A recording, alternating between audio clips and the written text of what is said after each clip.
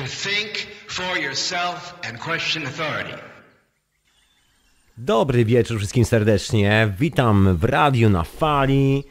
W piękny sobotni wieczór w hiper przestrzeni. Ja mam na imię oczywiście Tomek. Witam Was wszystkich serdecznie w nowym roku kalendarzowym, nowym roku gregoriańskim, jak to się zwykło mawiać. Przywitałem Was już ostatnio w nowym roku takim prawdziwym, astronomicznym, a tym razem witam Was w nowym roku gregoriańskim. Mam nadzieję, że mieliście wypasione święta, stoły się uginały, brzuchy były pełne, koniec końców toczyliście się po podłodze zamiast chodzić i że było wszystkiego w brud. No mam nadzieję, że mieliście też doskonałą imprezę noworoczną, że było naprawdę niezłe, rześkie, dynamiczne i takie idealne, wręcz odpowiadające wam party. Ach, ten nowy rok, proszę Państwa, ja muszę się troszeczkę rozgadać dzisiaj o tej długiej przerwie, w ogóle zasiadłem przed tym mikrofonem i tak w ogóle jakbym, e, jakbym tu pół wieczności nie był.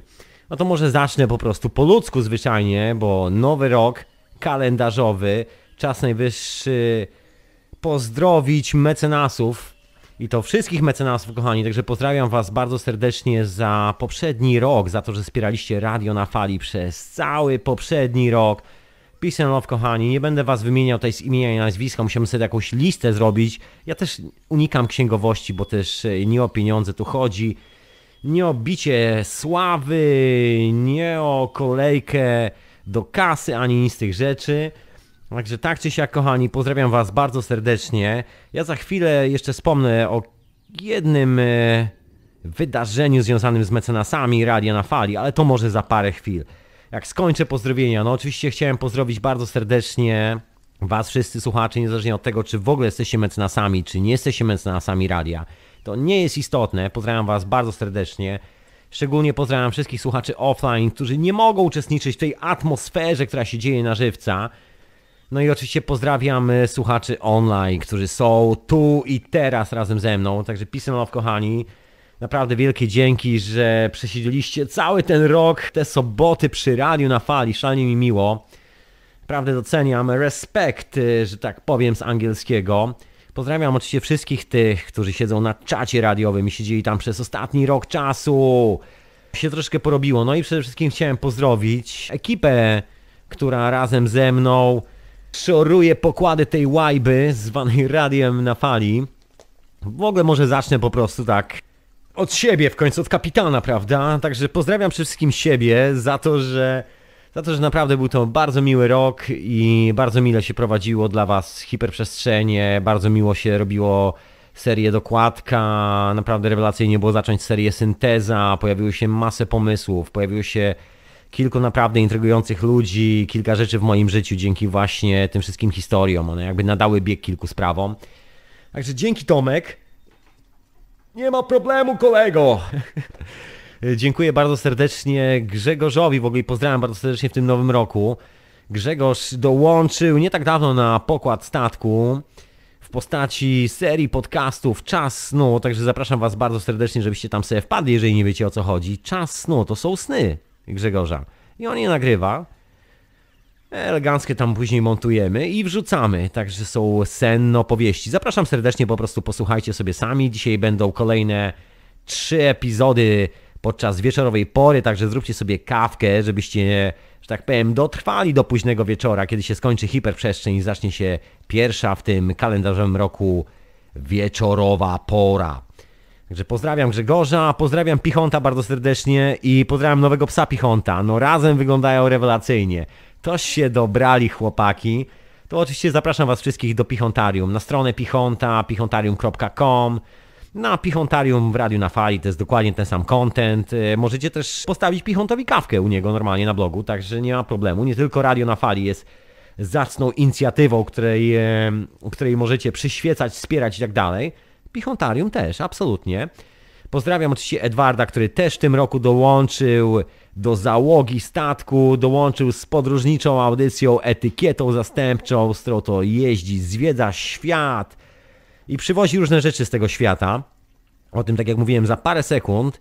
No i pozdrawiam oczywiście Michała, który od początku się buja na pokładzie, teraz co prawda już y, jako content absolutnie zewnętrzny, Niemniej e, dalej się buja na pokładzie statku, także pozdrawiam całą załogę Radia na Fali w tym nowym roku i życzę naprawdę udanego, świetnego nowego roku, kochani. Trzymajcie się, no i pozdrawiam tajemniczą postać, Mr. K. Pozdrawiam serdecznie za całą tą robotę, która została wykonana. Mi po prostu się nogi uginają, nogi uginają od wrażenia. Wysyłam dużo miłości, dużo pokoju, peace and love. Kilka słów na temat tego wątku z mecenasami, moi drodzy. To dla mecenasów, także jak chcecie sobie zrobić w tym momencie kawkę, a nie jesteście mecenasami, to możecie sobie śmiało wyskoczyć do kuchni. Ja tu mam parę słów e, do was, mecenasi, kochani. Są dla was upominki. Oczywiście nie powiem, kto dostał, nie powiem, kto wylosował i tak dalej, bo to nie chodzi o wyścigi, nie chodzi o zawody, nie chodzi o dominację i stanie na podium. Absolutnie. Dziękuję wielce serdecznie za wsparcie i magnesy do Was zostaną wysłane już w tym miesiącu. Już w tym miesiącu, ledwo się zaczął, już mówię, już w tym miesiącu jakby się miał kończyć. Jeżeli jeszcze nie wiecie o co chodzi, a wspieraliście Radio na Fali, to zapraszam Was, żebyście wpadli na adres radionafali.com slash mecenasi myślnik RNF. I tam jest taka strona pod tytułem upominki dla mecenasów. O co chodzi z tymi upominkami? To są magnesy zwiezione przez księcia Edwarda z tych podróży, w których to bywał po całym świecie, gdzieś tam się szlajał, wrzucał sobie po drodze tej walizki pamiątki z tych podróży. Jak człowiek podróżuje, to sobie przywozi różne rzeczy z różnych miejsc, najczęściej takie emocjonalne drobiazgi, żeby przypominały mu o tym, jak tam było. I te właśnie emocjonalne drobiazgi prosto od księcia Edwarda niedługo znajdą się w waszych skrzynkach pocztowych, rozesłane właśnie przez owego księciunia prosto z Irlandii. A ja oczywiście zapraszam bardzo serdecznie, żebyście wpadali na podstronę oczywiście etykiety zastępczej i sobie słuchali o tych opowieściach, bo okazało się, że tych opowieści jest więcej i nie wszystkie zostały wypuszczone weter w radiu na fali, także zostało, zostało sporo, powiem wam szczerze, zostało Istanbul, zostało opowieści z Indii, zostało opowieści z Australii, z kilku innych miejsc, także trochę tego się pojawi, myślę, że takie wykrystalizowane. No właśnie, muszę się rozgadać troszeczkę dzisiaj, bo strasznie dawno do was nie mówiłem live, także wybaczcie moje dzisiejsze zacięcia i potknięcia, dobrze się nie gole przynajmniej w tym momencie, bo bym się nieźle poharatał. No i pozdrawiam oczywiście jeszcze raz wszystkich na czacie. Jak zwykle jestem na czacie Radia na Fali i wiecie jak wejść na czata Radia na Fali? No jeżeli nie wiecie, to oczywiście strona radionafali.com. Tam jest taka zakładka czat i tam sobie klikacie i wchodzicie sobie na czata. Ja tam jak zwykle jednym okiem będę się przyglądał. No i właśnie po tych podziękowań nie dosyć jeszcze oczywiście, bo chciałem bardzo serdecznie podziękować wszystkim tym z Was, którzy pomagaliście Radiu na Fali w ogóle tak, że tak powiem, ścichacza, nie rzucając się w oczy, prosząc o dyskrecję i takie tam. Także dzięki wielkie kochani. Peace and love. No i oczywiście chciałem podziękować Tomkowi Grubie i Basi za, za materiały z konwentu wiedzy alternatywnej, za to, że to się elegancko fajnie skleiło i te materiały lądują w radiu na fali. Ja przy okazji Was oczywiście zapraszam bardzo serdecznie na kolejny konwent, który się wydarzy dokładnie 7-8 lutego w tym roku, 2015 w Gdańsku, ale o tym będzie jeszcze troszeczkę. Ja tu zamierzam ściągnąć Tomka, żeby sam o tym opowiedział i żeby was zachęcił do wyprawy do Trójmiasta. Nie wiem, czy właściwie trzeba kogokolwiek zachęcać. Impreza jest naprawdę rzeźka, owocowa i świeża, także no, kochani, bilet w zęby i wyprawa do Gdańska, jeżeli oczywiście macie taką e, możliwość, będziecie mieli taką możliwość na początku lutego, 7-8 luty, jakoś tak weekendowa historia, także jeżeli jesteście po drodze, zgarniajcie na tą imprezę. Zgarniajcie na tą imprezę. I chyba czas najwyższy, żebym powoli przeszedł do dzisiejszego tematu, który jest y, kontynuacją opowieści sprzed tygodnia. No tak postanowiłem przyjrzeć się troszeczkę drugiej strony historii okultyzmu, może nie tyle historii okultyzmu, ta historia okultyzmu to właściwie jest historią alchemii, historią starożytnych wierzeń, historią w ogóle wiedzy przede wszystkim takiej oryginalnej, niesprasowanej przez żadne religie i dogmaty teologiczne. Chciałem się przyjrzeć raczej w takim e, aktualnym kontekście, ile z tego zostało do dzisiaj, jak to jest wykorzystywane, ta wiedza cały czas funkcjonuje. Domeną wiedzy jest to, że działa, że jest to informacja, która jest sprawdzalna, że jest to informacja, za pomocą której można coś wybudować, coś zburzyć, coś zrobić. Potwierdzalna eksperymentalnie, jakby powiedział naukowiec. No i taką właśnie historią jest okultyzm, o, o którym będę tutaj dzisiaj dalej ciągnął troszeczkę i o tym, jak to działa. No i dzisiaj chciałem e, wskoczyć na taki wątek, który jest myślę bardzo istotny dla naszego stulecia, właściwie już kolejnego stulecia, poprzedniego i tego, które właśnie się zaczyna. Nie wiem, czy się zaczyna, bez 2015 to już się zaczął jakiś czas temu. No ale generalnie chodzi o propagandę, ponieważ ostatnie czasy w historii cywilizacji, która nas otacza, no to są czasy, co by tu nie mówić, propagandy. Także dzisiaj chciałem od tej strony rzucić na to wszystko okiem. No bo za czym podąża nasza uwaga? Właśnie, za czym podąża nasza uwaga i co z tym wspólnego ma propaganda? Także dokładnie ten temat dzisiaj. Mam oczywiście sporo muzy, no bo to początek roku. Także mam nadzieję, że będziecie mieli dobrą zabawę, spędzicie bardzo miły czas e, z radiem na fali. No właśnie, i oczywiście pozdrawiam, bo bym zapomniał słuchaczy Radia Paranormalium, którzy od jakiegoś czasu też słuchają hiperprzestrzeni, bo hiperprzestrzeń jest retransmitowana w Radiu Paranormalium. I dziękuję wielce i serdecznie za towarzyszenie tej audycji. I zaczynamy tą całą opowieść, moi drodzy, a jak zwykle, zanim zacznę tę opowieść, to zacznę od jakiejś muzy.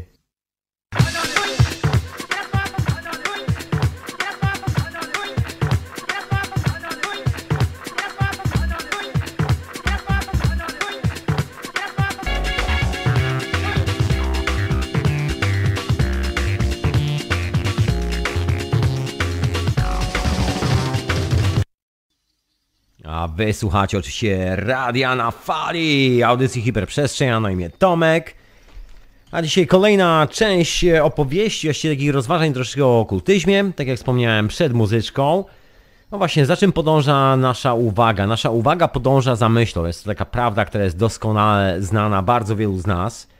I to taka wręcz y, trywialna historia, bo każdy z nas doskonale o tym wie, że to, o czym myślimy, jakby definiuje nasze życie.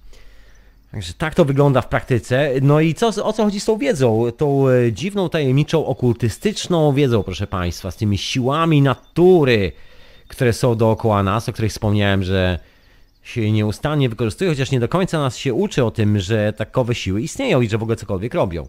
Myślę, że dobrze było zacząć od takiej elementarnej sprawy, czyli od naszej seksualności. To jest taka bardzo kluczowa rzecz, gdzie właściwie te siły natury się właściwie zaczynają.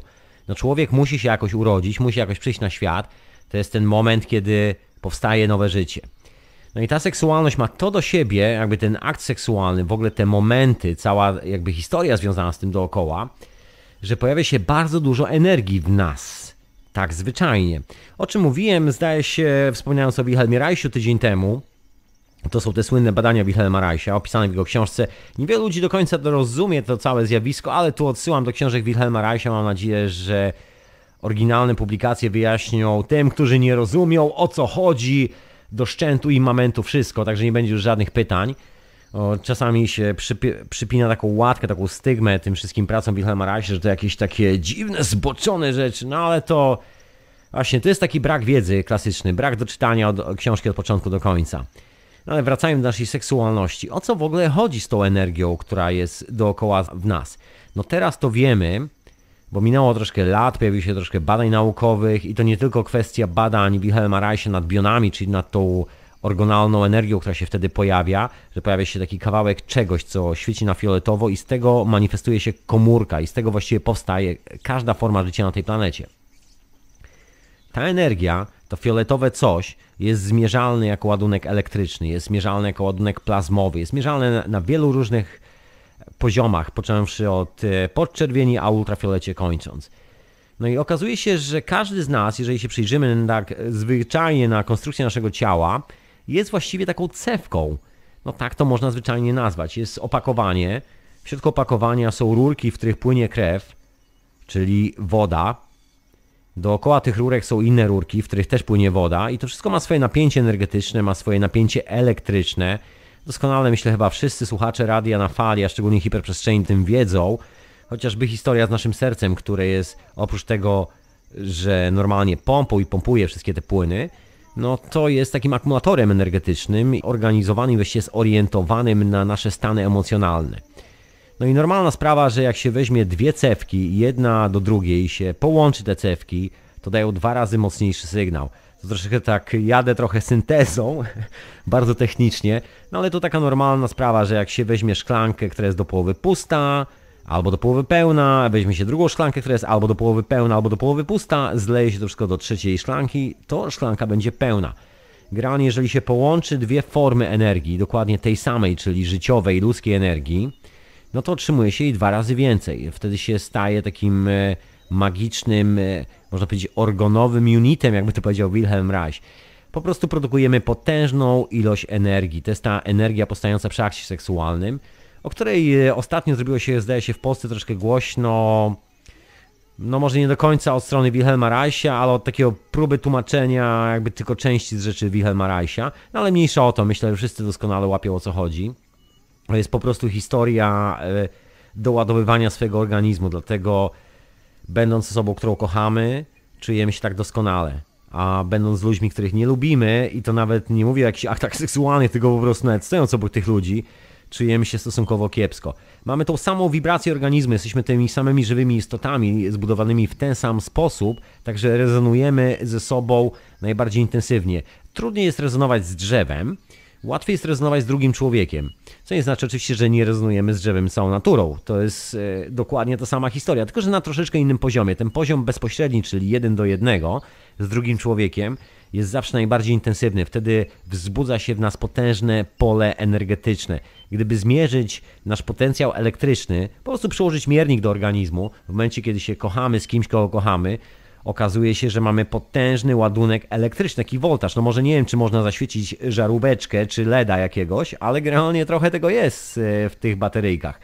Bo nagle ta energia z jednej strony żeńskiej i męskiej się łączy razem do kupy i powstaje to coś niesamowitego i później są dzieci z tego, proszę Państwa. Taka prosta sprawa, prawda? Takie bardzo trywialne, właściwie każdy z nas doskonale o tym wie, nie ma tu żadnej tajemnicy, bo każdy musiał się w końcu w jakiś sposób urodzić. No chyba, że słucha nas ktoś, kto jest manipulacją genetyczną.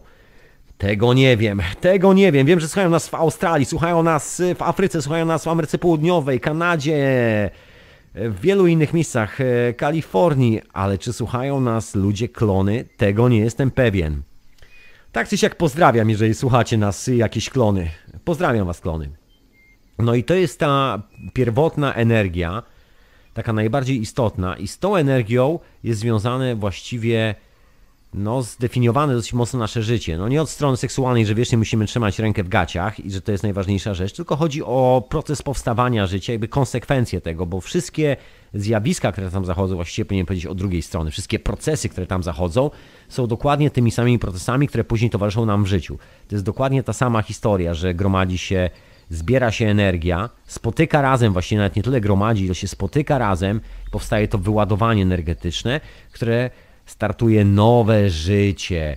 Taka klasyczna historia, bardzo klasyczna historia.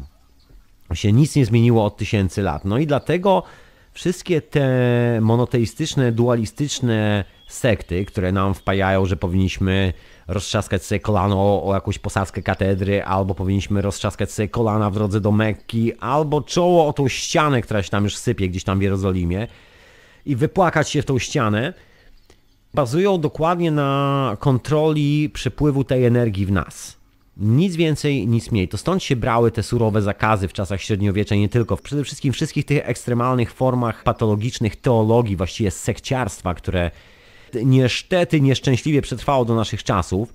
To są wszystkie te możliwe dualistyczne religie, które bazują właśnie na kontrolowaniu tego aspektu naszego życia, że nasz partner, partnerka, ktokolwiek nam bliski, musi być dokładnie w tej samej sekcie, inaczej to nie działa. Tym, że jest energia, którą produkuje dwójka ludzi, no jest ktoś, kto mieni się nauczycielem, ktoś, kto mieni się jakimś duchowym przywódcą i ten duchowy przywódca korzysta z tej energii.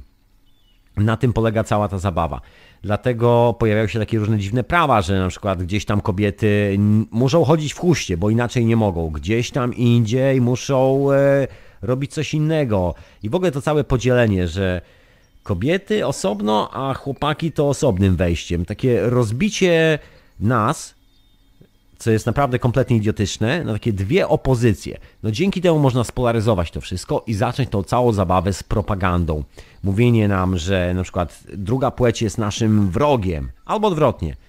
Czy jakoś tak. I dzięki temu kontrolować troszeczkę nasze zapędy, bym powiedział. No bo normalne jest to, że ta energia się w nas gromadzi przez e, cały czas, ona jest obecna, to jest energia życiowa, to nie jest tylko i wyłącznie energia związana z seksualnością, ona się wtedy jakby najmocniej ujawnia. To jest w ogóle energia życiowa. I ten, kto kontroluje naszą energię życiową, ten kontroluje nasze życie. To jest takie pierwsze prawo propagandy, że za tym podąża nasza uwaga, o czym myślimy.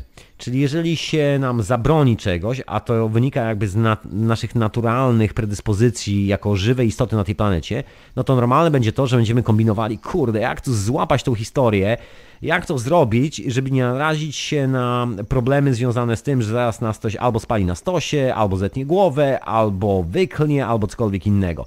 No i w tym momencie zaczynamy obłędnie jakby myśleć o tym, no i zaczyna się cała zabawa uwagą, która zaczyna podążać jakimiś dziwnymi meandrami, bardzo ciemnych, mrocznych, zakurzonych korytarzy, które właściwie chyba nie są domeną nas jako żywych istot na tej planecie. No, szamani doskonale o tym wiedzą. Wiedzą, że to się opiera na kumulowaniu, znaczy kumulowaniu. Chyba najłatwiej jest po prostu powiedzieć kumulowaniu, chociaż w rzeczywistości nie jest to kumulacja energii, tylko jest to zapewnienie takiego czystego przepływu energetycznego przez nasz organizm.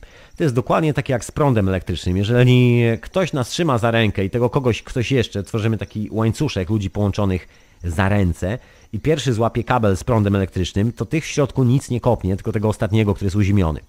To jest dokładnie na tej samej zasadzie. Tak działa energia w nas. Nauka, która jest dookoła nas, która mówi o tych wszystkich prądach, elektryczności, fizyka, zasady itd., tak itd., tak jest, co by nie mówić, oparta na tej prostej, trywialnej obserwacji rzeczywistości, bo dokładnie stąd się wzięła. Teraz jest troszkę odłączona i ona teraz udaje coś innego, coś niby mądrzejszego, coś niby kosmicznego itd., tak itd., ale to są dokładnie te same energie, te same moce i te same mechanizmy działania o czym wielu ludzi doskonale wie. No, wiedzieli o tym alchemicy, wiedzieli przede wszystkim o tym wszyscy ci, którzy tworzyli wszelkie te patologiczne sekty, które doprowadziły do wszystkich tych dziwnych wojen na świecie, że jeden wyżyna drugiego tylko dlatego, że chłopaki wierzą w coś zupełnie odmiennego. No właśnie, tak zacząłem o tej religii. To są historie z symbolami, o których wspomniałem ostatnim razem w hiperprzestrzeni. To są te wszystkie magiczne symbole i przede wszystkim religijne symbole. Tak się nie rozpędzałem z tym tematem religijnych symboli w poprzednim odcinku, a myślę, że czas najwyższy wrzucić Wam jedną historię o jednym takim dosyć specyficznym symbolu, o którym akurat wspominałem ostatnio. To jest ten symbol e, nazywany w dzisiejszych czasach, nie wiem dlaczego gwiazdą Dawida, to jest złodziejstwo nieprzeciętne, ponieważ ten symbol, słuchajcie, w rzeczywistości jest bardzo stary i właściwie towarzyszy ludzkości od zarania. Ten symbol można znaleźć w takich naprawdę prastarych systemach, nawet nie teologicznych, tylko właściwie takich systemach informacyjnych typu buddyzm, bo buddyzm ani nie jest religią, jest właściwie przekazywaniem sobie informacji o tym, jak działa energetyka naszego organizmu i korzystaniem z tego, nic więcej. Jest kilka innych oczywiście takich systemów, właściwie to chyba najlepsze określenie, bo nie są to żadne religie, które przechowują te informacje, podobnie jak aborygeni, podobnie jak ludzie w dżungli amazońskiej, podobnie jak Indianie w Ameryce Północnej, którzy dalej utrzymują te wszystkie tradycje na chodzie, łącznie z Indianami Hopi, których próbowano wybić co do nogi to jeszcze istnieje, cały czas jest. Teraz jest aktualnie szczęśliwie dla nas renesans tych rzeczy, bo no, skończyła się droga pewnej patologii i bardzo dobrze. Niech ta patologia już e, zniknie z naszego życia. Niech wróci to normalne pojęcie świata, które jest jednością, a nie dualizmem. No i wracając do tego symbolu, bardzo starego, czyli dwóch piramid, które nachodzą na siebie, tworzą coś w rodzaju gwiazdy o sześciu wystających czubkach, najczęściej w kółku. To nie przez przypadek. Jest to związane po prostu z energetyką. Tak jak wspomniałem w poprzednim odcinku, chociażby spektrum kolorów widzialne dla nas i też niewidzialne. Są te dwa momenty, w których nic nie widzimy. Jeżeli sobie narysujecie coś, co potocznie dzisiaj nazywamy gwiazdą Dawida i przetniecie ją dokładnie w połowie, to po jednej stronie otrzymacie spektrum światła podczerwonego, którego nie widać, a po drugiej stronie otrzymacie spektrum e, światła ultrafioletowego. No ale generalnie co oznacza w ogóle ten moment przycięcia tej gwiazdy Dawida w połowie? Taki znany alchemiczny symbol. No oznacza dokładnie tyle, że to są te momenty przejścia, gdzie energia transformuje, zamienia się w coś innego, znaczy dalej jest energią, ale przechodzi w coś innego, następnie transformuje ponownie i przechodzi jeszcze raz. To jest trochę jak rzeka, która sobie spływa z gór. Generalnie robi swój zakręt, natlenia się, dotlenia, jest zdrowa i sobie płynie dalej. Taki po prostu nieustanny obieg energetyczny. Symbol tego, że wszystko w naturze jest cały czas w ruchu, mówiąc w bardzo wielkim skrócie. Dlaczego wspomniałem, że nie jest to gwiazda Dawida? No bo nie jest to gwiazda Dawida, słuchajcie. Ten symbol został przywłaszczony przez wyznawców Tory dokładnie w XVII wieku, czyli właściwie niecałe jakieś 300 lat tak naprawdę ten symbol funkcjonuje jako w cudzysłowie gwiazda Dawida. Normalnie nie ma nic wspólnego z, ani z Torą, ani z tymi wszystkimi wyznawcami tego demona, który jest tam opisany w tych torach i tak dalej, i tak dalej. Wszystkich tych szaleńców. Nie ma absolutnie z tym nic wspólnego. Jest to stary alchemiczny symbol, który właśnie do temu służył. Jakby oznacza naturę transformacji. No i w pewnym momencie został e, po prostu zmanipulowany, przejęty, a nawet w dzisiejszych czasach jest częścią flagi pewnego kraju. Chyba wszyscy się z Was dokładnie domyślają. No i jest jeszcze drugi alchemiczny symbol, który mówi dokładnie o tym samym, który właściwie jest do dzisiaj, no może nie tyle z, nie zmanipulowany, ile przetrwał w oryginalnym stanie, bo tam próby manipulacji tym symbolem są nieustannie, szczególnie robią to takie nieogarniające rzeczywistości nastolatki, produkujące bardzo dziwne filmy na YouTubie bardzo często. Chodzi o węża albo smoka który zjada swój własny ogon. To jest pierwsza rzecz. A drugi symbol, który jest właściwie tym e, esencjonalnym symbolem, to są dwa węże, z których po prostu dwa zjadają się nawzajem. Jeden zjada ogon drugiego i odwrotnie. Wyobraźcie sobie na okręgu dookoła którego jest owa gwiazda, w cudzysłowie Dawida, właściwie to się powinno mówić gwiazda przeznaczenia, albo gwiazda alchemików, albo jakoś tak, że są dwa węże. I one zawsze mają głowy dokładnie po przeciwnych stronach. Jeżeli spojrzycie na zegarek, to właściwie to chyba było najlepsze wytłumaczenie. Alchemiczny zegarek zamiast na tarczy, tam gdzie aktualnie jest numer 9, powinien mieć dwunastkę. Czyli powinien być obrócony o 45 stopni. I wtedy wszystko by się zgadzało, tak jak równik w poprzek planety. I wtedy wszystko zaczyna działać. To jest taki pierwszy element tej wiedzy, który jest związany z symboliką. No ta symbolika, tak jak wspomniałem w poprzednim odcinku, jest związana z kwestiami konstrukcyjnymi. Wszyscy budowniczowie katedr doskonale o tym wiedzieli. Jeżeli zobaczycie na plany katedry, ja nie mówię o oryginalnych planach, bo oryginalne plany nie istniały nigdy. Katedr się nigdy nie budowało z planów, ale to w ogóle opowieść na zupełnie inną historię. Posługiwano się tymi specyficznymi proporcjami, złotym podziałem, tym co nazywamy właściwie złotą geometrią. Niektórzy mówią też święta geometria i tak dalej, i tak dalej. Myślę, że wszyscy sobie zdajemy z tego sprawę. I jest to taki kluczowy symbol właśnie dla owej złotej geometrii, tej najstarszej tradycji matematycznej, najstarszej tradycji, jeżeli chodzi o jakąkolwiek wiedzę, którą posiadamy jako istoty ludzkie żyjące na tej planecie, którą sobie przekazujemy z pokolenia na pokolenie. Ta wiedza przetrwała pomimo gigantycznych kataklizmów, które nie wiadomo kiedy się wydarzyły, były potężne, zostały tylko piramidy i kawałki kamieni gdzieś tam w polu których nikt do dzisiaj nie wie, jak zostało obrobione jak można zrobić takie rzeczy. Jedyne co zostało to właśnie owe symbole. Taka wskazówka, kierunek, w którym powinniśmy iść. No i z tym się wiąże wiele ciekawych rzeczy, chociażby coś takiego, co się nazywa Sundance, o czym już wspominałem. To jest specjalny taniec e, tańczony przez Indian w Ameryce Północnej. No nie tylko, bo to w wielu miejscach na świecie generalnie o tej porze się robi różne rzeczy. W Indiach się medytuje o tej porze, jest specjalna medytacja, którą się robi, jest specjalna raga, którą się gra o tej porze. No to są takie specjalne momenty dnia, kiedy słońce wstaje i słońce zachodzi. Wysokość kątowa słońca nad horyzontem, no, generalnie jest to po prostu kąt nachylenia słońca nad horyzontem, mówiąc najprościej. Promyk słoneczny przebywa najdłuższą drogę, żeby dotrzeć do miejsca, gdzie my stoimy.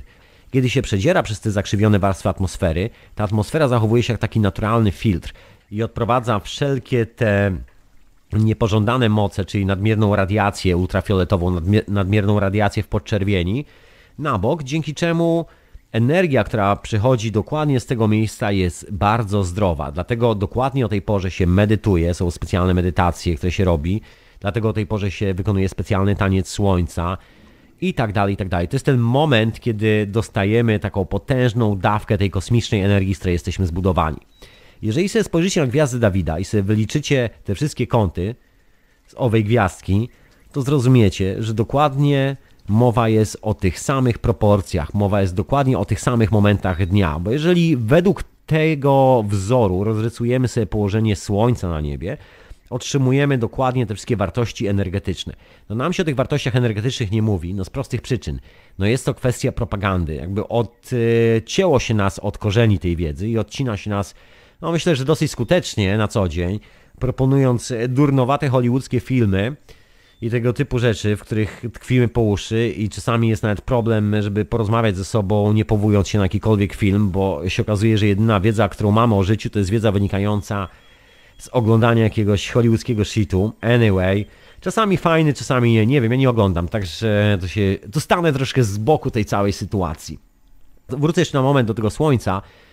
Chodzi o dokładnie to samo zjawisko, które zaobserwował słynny get, o którym często ostatnio mówię, e, podczas obserwacji tego, jak się załamuje światło w pryzmacie. To są dokładnie te kolory, to jest dokładnie ta energia, to są te siły naturalne, które są połączone z naszą seksualnością, z naszą w ogóle taką pełną energetyką funkcjonowania dookoła. To są te magiczne liczby 3, 6, 9. To jest ta tajemnicza proporcja w oryginalnej muzyce, która została jeszcze zapisana przez Platona, która też się opiera na 3, 6, 9. Wszystkie tego typu rzeczy. Najstarsza, proszę Państwa, wiedza.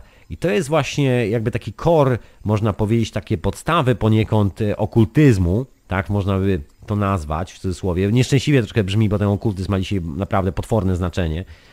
Jakieś sekty, jakieś satany, jakieś dziwne historie, które za tym stoją. No niemniej to jest ta oryginalna wiedza. No i jeżeli to jest energia, nasza uwaga właściwie podąża za myślą, a nasza myśl podąża za energią, to wystarczy, że ktoś nas sprofiluje w odpowiedni sposób, poustawia po kątach i właściwie w tym momencie jest panem naszej energetyki. Spójrzcie, jak wyglądają rozłożenia godzin, kiedy człowiek chodzi do pracy, kiedy zaczyna się dzień, kiedy się kończy dzień. Spójrzcie na swoje własne życie, kiedy jesteście najbardziej zmęczeni, kiedy jesteście, jesteście najbardziej intensywni, kiedy macie dużo energii, kiedy czujecie, że ten poziom energii spada. To są wszystkie te sprawy z tym związane. Jest taka bardzo ciekawa nie wiem jak to nazwać, bo to nawet nie jest religia, to jest też taki system, który jest gdzieś tam w Turcji schowany.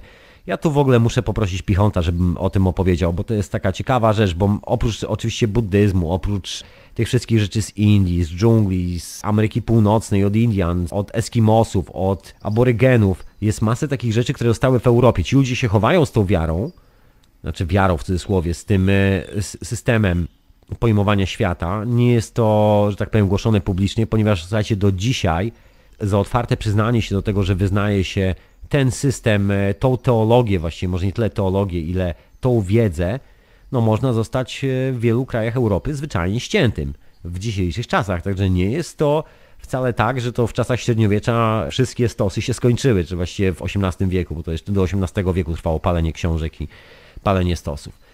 Ale wracajmy do propagandy, proszę Państwa, bo to jest jakby klucz naszej historii.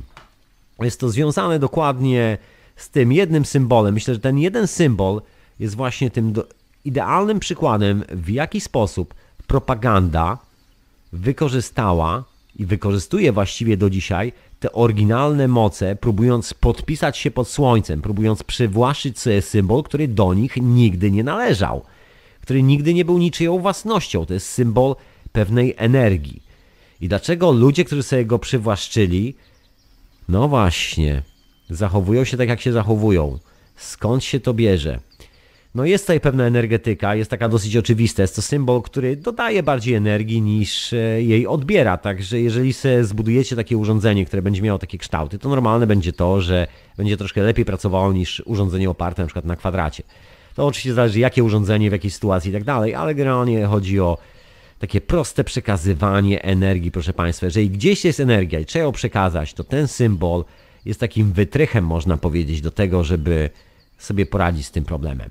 I to jest pierwsza rzecz związana z propagandą, że przywłaszczyła sobie wszystkie te symbole. Ja nie chcę tu opowiadać o wszystkich pozostałych symbolach, bo właściwie no jest tego tak dużo, że można utkwić na całą noc mówiąc kto co ukradł i do czego się nigdy nie przyznał ale ten jeden symbol myślałem wystarczy za dobrą ilustrację tego, jak się zaczęła ta propaganda mówiąca o tym, że jest to naród wybrany, że jest to naród, który niby wie lepiej jak coś robić. I skąd się wzięły te domy bankierskie, które bardzo chętnie i bardzo życzliwie przytuliły te wszystkie symbole, a szczególnie ten jeden symbol, twierdząc, że od tej pory reprezentują spuściznę jakiejś bardzo starej tradycji i się pod tym zaczęli podpisywać jako właściciele. No właśnie, skąd to się wzięło? To już wiadomo, myślę. A teraz y, czas na jakąś muzyczkę. A co, bo tak dzisiaj na żywo, w ogóle zupełnie nierozgadany po długiej przerwie od mikrofonu. Chyba czas najwyższy czegoś posłuchać.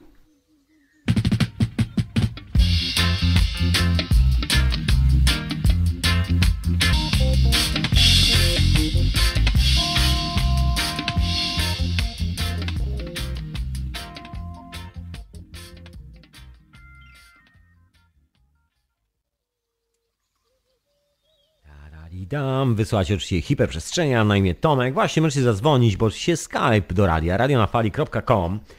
Także jeżeli macie jakieś informacje na temat różnych tajemniczych symboli i chcecie się tym podzielić, śmiało zapraszam bardzo serdecznie. No a dzisiaj właśnie o tym dziwnym obliczu okultyzmu, się tym bardzo praktycznym obliczu okultyzmu, dosyć okrutnym dla nas, no nazywa się to propagandą, chociaż w dzisiejszych czasach używa się słowa marketing, public relation, tego typu historie ale dokładnie jest to propaganda, jest to próba manipulacji naszą intencją, naszą energią, w końcu naszą wolą, dzięki czemu robimy różne dziwne rzeczy. Świat wygląda tak, jak wygląda, że czasami robimy duże oczy i się zastanawiamy, man, czy to naprawdę się dzieje? Czy to naprawdę się dzieje? Czy ja naprawdę zwariowałem, czy świat zwariował? Właśnie, przed chwilą kawałek muzyczki reggae to są ludzie, którzy oryginalnie są e, poniekąd, można powiedzieć, takimi bezpośrednimi spadkobiercami owego tajemniczego symbolu, który jeszcze pochodzi z czasów tak zwanego króla Salomona, właściwie jeszcze z Egiptu i tak dalej, i tak dalej, czyli Rastafari. Ta propaganda, propaganda, no to właśnie, to teraz już wiadomo, dlaczego duże imperia, tudzież ludzie, którzy chcą wystartować duże imperia, opierają się na takich ezoterycznych symbolach, jak to się popularnie mówi. Najszybsza droga jakby przygarnięcia sobie odrobiny energii, tak bym to powiedział, taka kondensacja wymuszona troszeczkę. No bo wiadomo, że jak oni sobie to przytulą, to nikt inny nie będzie mógł przytulić będzie można o to walczyć, bo to jest już nasz symbol, coś to należy do nas, przynosi nam szczęście i nikt inny nie, nie może tego zakładać na szyję. To są nasze kobiety, to są nasze symbole, to jest nasza religia i wszystkich innych wytniemy w pień. Taki klasyczny chrześcijańsko-katolicki, muzułmański, tudzież judaistyczny punkt widzenia. Eksterminacja wszystkich dookoła, wszystkich tych, którzy nie wierzą w to, co oni wierzą. Taka klasyczna historia związana z tymi wszystkimi dualistycznymi teologiami, które nie uznają jedności na świecie, ponieważ jedność na świecie, jedność nas wszystkich i to, że jesteśmy jednym i tym samym, spowodowałaby upadek tej teologii, spowodowałaby upadek każdego państwa i każdej ideologii, dosłownie każdej, bo w tym momencie nie ma różnic, trzeba współpracować, a nie rywalizować. I w tym momencie nie ma liderów, nie ma menadżerów, nie ma tego całego shitu po drodze, który próbuje nam nadać właściwy kierunek poprzez odcinanie kuponów od naszego życia i tak dalej, i tak dalej. Tu jest ta kwestia związana z naszą energetyką, tak zwaną przyspieszaniem i spowalnianiem procesów. Bardzo istotna sprawa, z której korzystali naziści, którzy zresztą bardzo skwapliwie korzystali z ezoterycznych symboli, tak zwanych ezoterycznych, wszystkich tych okultystycznych spraw Słuchajcie, jeżeli śledzicie sobie nawet relaksacyjnie czasami jakieś prezentacje mówiące o czasach nazizmu, o tych e, potwornych czasach i potwornych ludziach, zauważyliście, jak wiele tam jest okultyzmu, jak często to się przeplata z tymi wszystkimi życiorysami tych firerów, tych wszystkich generałów itd., tak itd. Tak wszystkie te organizacje typu Tule, wszystkie te dziwne stowarzyszenia, które stamtąd się brały, bardzo dziwna symbolika oparta na starych, bardzo starych, pradawnych symbolach, chociażby swastyce. To kolejna próba zawłaszczenia sobie symboliki. Jedni sobie zawłaszczyli gwiazdę, mówiąc, że jest gwiazdą Dawida, a drudzy sobie zawłaszczyli swastykę, twierdząc, że to jest symbol nowej rasy panów. Dokładnie w ten sam sposób to wygląda. No inni se ładują dużego ptaka na fladze, żeby twierdzić, że oni są już tacy odlotowi i że oni widzą cały świat z góry i granie strają już na wszystko. Słuchajcie, też działa, też e, świetne logo. Ptaki są wykorzystywane w teologiach właściwie indiańskich, tych wszystkich pradawnych, jako taki łącznik z kosmosem, taki łącznik z innym wymiarem. No nie przez przypadek się bierze na flagach, prawda? Ale wracając do tej kondensacji, do, jakby do przepływu energii, bo to jest dosyć istotna sprawa. Właściwie wszystkie te symbole i całe te zabawy służą temu, żeby nas kontrolować w bardzo specyficzny sposób, bo jest na to jedna konkretna metoda. No nie da się tego zrobić czy zmieniając nas, wkładając nam no, jakieś nowe myśli do głowy i tak dalej. Można włożyć koncepty do głowy, ale jeszcze trzeba zmusić, żebyśmy podążali za tym konceptem. No i najlepsza metoda to jest przyspieszanie albo spowalnianie procesów, które się dzieją dookoła nas. Wszyscy ci, którzy zajmują się tym od tej strony propagandowej, nie nazywają tego okultyzmem, tylko po prostu propagandą, wiedzą doskonale, że no nie da się człowieka zmusić do niczego, kiedy ten człowiek nie chce tego zrobić. Po prostu nie ma takiej możliwości. To jest największy problem agencji public relation, tych propagandowych agencji produkujących reklamy, jak zmusić ludzi do oglądania reklam, ponieważ jest grupa ludzi, która nie lubi oglądać reklam i o tą grupę chodzi, bo oni jeszcze mają kasy do wyciągnięcia. Natomiast ten, kto lubi oglądać reklamy, on i tak obejrzy, nim nikt się nie zajmuje, nikt się nie przejmuje, ponieważ takich ludzi jest masę, oni i tak przyjdą przed telewizor, zasiądą i to obejrzą dobrowolnie. Z nimi nie ma problemu. Tych ludzi już w kieszeni te firmy mają.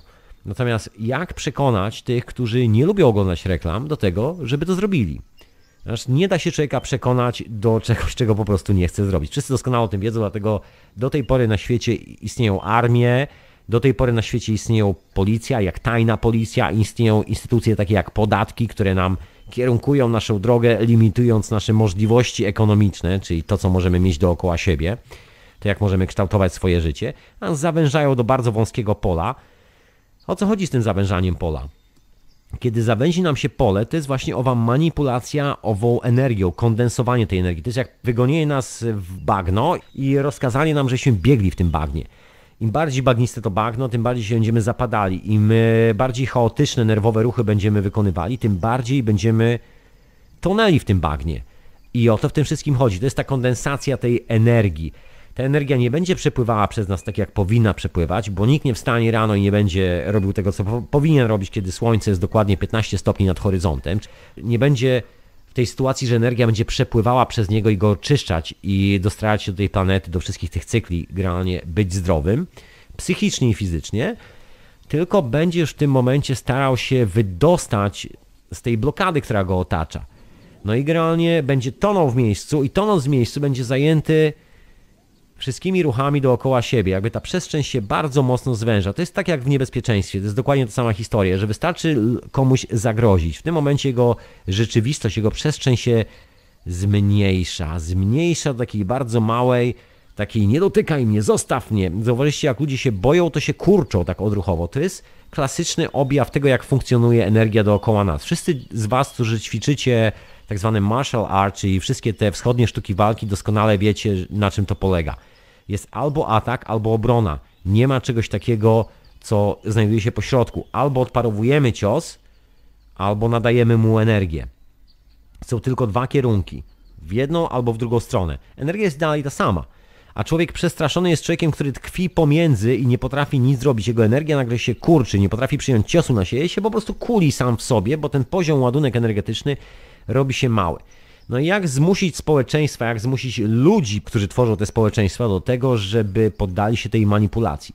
To jest dokładnie ta sama historia wynikająca de facto z tej starożytnej wiedzy, tak zwanej okultystycznej, czyli trzeba ich nastraszyć i to bardzo solidnie, w taki sposób, żeby stać się panami części procesów, które są dookoła tych ludzi. Czyli jeżeli ktoś jest właścicielem e, procesów ekonomicznych dookoła nas, to po prostu posiada tą władzę może przyspieszać albo spowalniać ten proces. Przyspieszanie procesu pozwala nas wybić z rytmu, Także zaczynamy nagle gdzieś gonić, nasza przestrzeń e, się robi taka, nie może się nadbudować w pewnym momencie, no dzieją się dziwne rzeczy, po prostu biegniemy, biegniemy, biegniemy, nie, nie wiemy po co, ale po prostu biegniemy. I w tym momencie następuje kondensacja, czyli wrzucenie nas to błoto, zablokowanie tego ruchu. I w tym momencie zaczynają się strachy. I to takie dosyć poważne. To są wszystkie te sprawy związane z wojnami na świecie. To są przede wszystkim sprawy związane z takim codziennym życiem, tego co się stanie, kiedy nie wstaniemy nie pójdziemy do pracy, nie zapłacimy rachunków. To jest taki po prostu zwyczajny, egzystencjalny strach o to, co mamy nad głową, o to, co się z tym wszystkim będzie działo. A jak jeszcze mamy jakichś bliskich, którzy od nas zależą, jeżeli ktoś z Was ma dzieci, to myślę, doskonale sobie zdaję z tego sprawę, że co będzie w tej sytuacji, kiedy ja wysiądę, pomimo tego, że ten system jest patologiczny, ale okej, okay, no nie mogę wysiąść z tego systemu, bo tu mam dziecko, które chce coś zjeść, prawda? No i w ten sposób się nas troszkę przyblokowuje, nawet nie troszeczkę, tylko dosyć konkretnie przyblokowuje. O co chodzi z tym przyspieszaniem procesu? Przyspieszanie procesu to jest rozpraszanie energii, czyli generalnie duża ilość bodźców. To wszystko się odbywa na poziomie energetycznym. Co prawda, nikt w dzisiejszych czasach nie używa alchemicznych nazw, czyli nikt nie mówi okultyzm, rozpraszanie energii itd., tak itd. Tak może niewielu ludzi. Używa się takich dosyć e, technicznych pojęć wynikających z psychologii i terminów pokrewnych, takich naukowych, że rozprasza się koncentrację osoby na przykład. Także to przyspieszanie polega na tym, żeby nas zostawić w pewnej próżni, właściwie wybudować dookoła nas próżnię, gdzie cała energia, którą mamy się rozprasza, gdzie nie wiem, możemy nabyć dużo różnych rzeczy. Myślę, że chińskie produkty tutaj spełniają świetnie rolę. Jest masa rzeczy, za którymi podążamy, bo gdzieś tam zobaczyliśmy, że powinniśmy to mieć i to rozprasza naszą energię. Także jedną nogą po prostu ciągle biegniemy ciągle jesteśmy w takim miejscu, gdzie wszystko jest rozproszone, gdzie nie jesteśmy skoncentrowani na niczym, gdzie tu jeden film, tu jakieś coś, tu coś, tam, tu coś, tam, tam coś, tam, wszędzie gdzieś tu praca, tu życie, tu coś tam. Jeśli nawet nie mamy czasu, żeby usiąść się zastanowić nad, nad samym sobą, nad tym, kim jesteśmy i co robimy. I to wystarczy, ten moment, żeby nas przytrzymać w tym momencie rozproszenia, żebyśmy zaakceptowali ten moment rozproszenia jako naszą integralną część osobowości, jako ogólnie panującą rzeczywistością, i że tak właśnie jest i że zawsze tak było i że zawsze tak będzie, to w tym momencie nam się przycina to rozproszenie energii, wrzuca nas się w to bagno, zwalnia się to tempo, odcina się te możliwości, no i w tym momencie zostajemy z takim potężnym ładunkiem energetycznym, który nie może przez nas normalnie przepłynąć, bo nie ma gdzie się rozproszyć. Nie dość, że go wcześniej za bardzo nie było, także nie mogliśmy go za bardzo zgromadzić w sobie, nie mamy tego normalnego ładunku, bo ilekroć mieliśmy jakiś normalny poziom energetyczny, to on zawsze ulegał rozproszeniu na te wszystkie rzeczy dookoła, zawsze na przyspieszaniu procesu. To jest przyspieszanie tego wszystkiego. To jak wziąć wodę i po prostu tak chlusnąć tą wodą konkretnie, to ta woda rozmyje ten kawałek piasku, na który to chluśniemy, prawda? To jest właśnie to przyspieszanie tych procesów a kiedy zwolnimy, to jest tak jakbyśmy wylali, nie wiem, tam klej taki albo gęsty olej, który będzie łapał te ziarenka piasku i sklejał do siebie, tworzył taką kleistą maść na plaży. To jest dokładnie drugi proces, który nam się kontroluje i najlepsza opcja i najbardziej wydajna, o czym no i psychologowie i wszyscy znawcy okultyzmu doskonale wiedzą, to jest manipulacja energią pomiędzy tymi dwoma stanami. Że z jednej strony trzeba nas rozpędzić, żebyśmy już nie mieli za dużo własnej energii, żeby nas nie mogła podtrzymywać przy życiu, kiedy nagle się okaże, że jesteśmy zablokowani, jesteśmy, mówiąc dosadnie, bezradni wobec tych wszystkich sił sprawczych, które panują dookoła nas. Stąd się biorą wszystkie te zabawy wygranych i przegranych.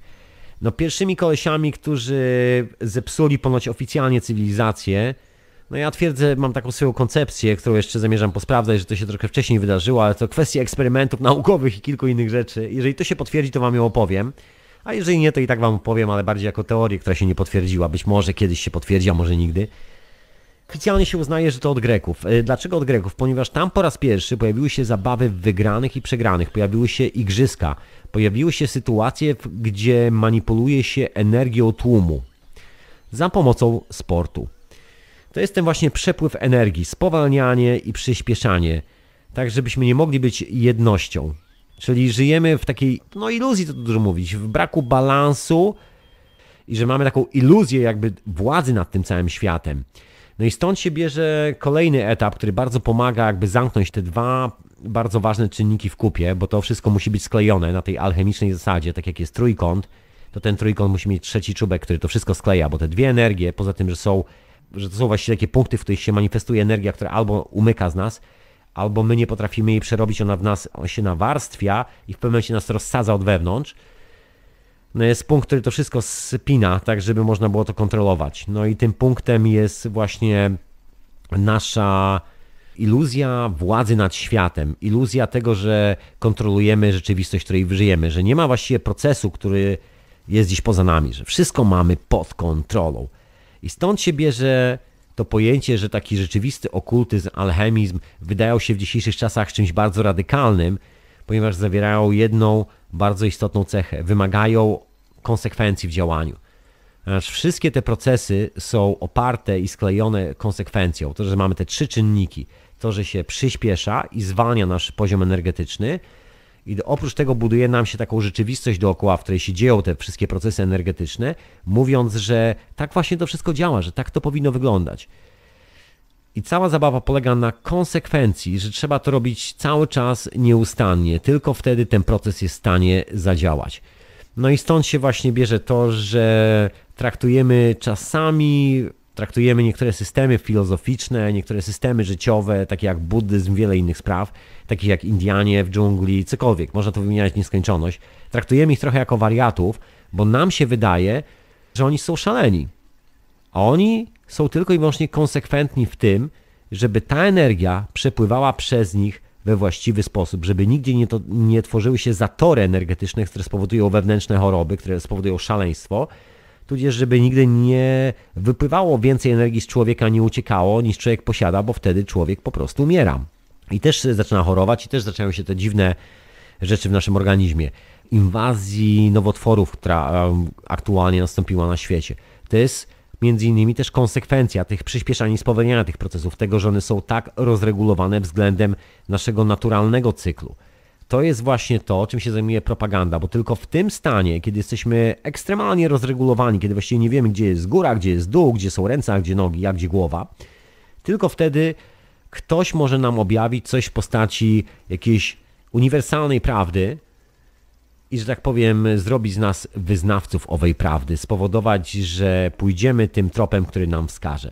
I tak oto poszliśmy troszkę tym tropem w ciągu ostatnich 100 lat, za pomocą bardzo cwanych numerów, właśnie wymyślanych przez ludzi, którzy, no być może w dzisiejszych czasach nazywani byliby specjalistami od propagandy, specjalistami od manipulacji socjotechnicznej, Dawniej nazywało się to po prostu okultyzmem. Jest tylko część oczywiście tej wiedzy i ta część jest wykorzystywana w bardzo niecny i podły sposób po to, żeby ktoś musiał na kogoś nieustannie pracować. No do tego się to po prostu sprowadza.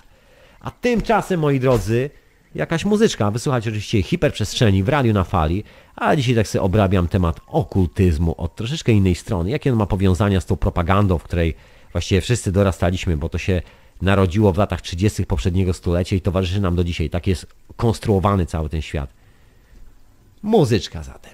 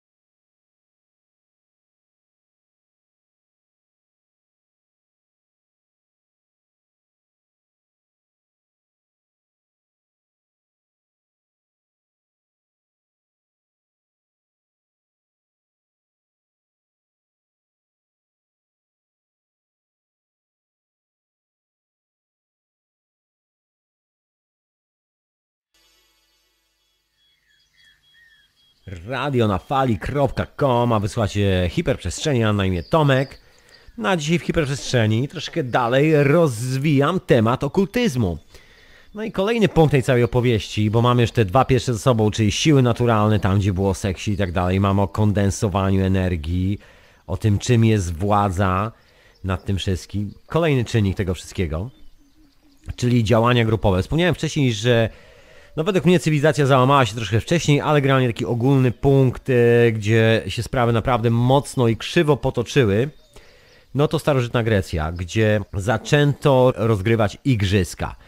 No i te igrzyska doprowadziły do takiej klasycznej polaryzacji, czyli już jest zastanawianie się, kto jest lepiej, kto jest gorzej, kto jest szybciej, kto jest wolniej.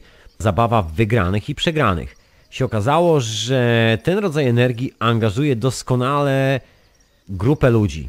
W jakiś tam sposób po prostu podążamy za tą uwagą swoją i to tak dosyć e, konkretnie podążamy tą uwagą. Jeżeli stawi się w nas sytuacji rywalizacji, no to nasza uwaga też tam podąża, zaczynamy sami rywalizować. No to są takie czasy upadku moim zdaniem, ale to w ogóle można sobie prześledzić za pomocą chociażby Platona. Ja tu jestem e, miłośnikiem Czasami zaglądanie do takich starych rzeczy, polecam Republikę Platona. Ciekawa rzecz, bardzo niezrozumiana książka nawet do dzisiejszych czasów. panuje takie przekonanie wśród ludzi zajmujących się tak zwaną ekonomią, że jest to opis państwa, albo ludzi, ludźmi zajmującymi się tak zwaną polityką. Jedni i drudzy szaleńcy. No i jedni i drudzy twierdzą, że to jest opis państwa. W rzeczywistości republikan jest źle przetłumaczony na język polski, bo po polsku to się nazywa państwo, nie wiem dlaczego, bo to zakłamuje jakby ideę, która jest tam przedstawiona. To też taka manipulacja dosyć cyniczna. Książka nazywa się Republika. Jest to taki zbiór, opis tego, jak funkcjonuje człowiek, sprasowany prawami dualistycznymi w takim świecie, gdzie nie może być dobry, może być zły, ale też nie musi być zły, gdzie dobro nie zawsze dostaje nagrodę za swoje dobro, gdzie zło dostaje nagrodę za bycie złem i tak dalej, i tak dalej. Taki przekręcony świat, gdzie prowadzi dyskusję sam ze sobą, co zrobić, jak wrócić do tego utraconego momentu, gdzie wszystko jest jednością. I jeżeli przeczytacie sobie Republikę, a tak konkretnie od początku do końca, robiąc sobie, nie wiem, notatki, to jest to opowieść o no najszybciej e, używając alchemicznego języka o transformacji. Można też powiedzieć, e, jest to taka metafora nieustannych narodzin i nieustannej śmierci, czyli reinkarnacji. Dokładnie o tym mówi dzieło zwane Republiką. W dzisiejszych czasach jest tak zmanipulowane, że powołują się na to miłośnicy polityki, twierdzą, że tam jest opisane państwo doskonałe. Nie, otóż nie jest opisane państwo doskonałe, ale to wymaga znajomości owej symboliki, która tam jest przytaczana, właściwie z której składa się cała ta książka. Chociażby z wchodzeniem do jaskini wiedzy i tak dalej, i tak dalej. Chociażby z oryginalnym znaczeniem słowa filozofia, czyli miłość do nauki, albo miłość właściwie do wizji i wiedzy wynikających z owych wizji. Także jeżeli się tego nie wie, to bardzo łatwo złapać się na ten haczyk i uwierzyć, że Platon już pisał o jakichś państwach, o tworzeniu się państwa, o państwowości. Jest to bzdura kompletna, ale to zostawiam każdemu z Was do sądzenia indywidualnie. Można sobie po prostu przeczytać książkę, zrobić sobie notatki, posprawdzać sobie wszystkie te terminy. One dzisiaj są doskonale znane. Co prawda nie ma takiej książki pod tytułem e, Alchemiczna terminologia dla głupich, czy jakoś tak. I trzeba mocno się przyszperać przez te wszystkie znaczenia, przez e, te wszystkie symbole, co stało za tym wszystkim, skąd to się brało.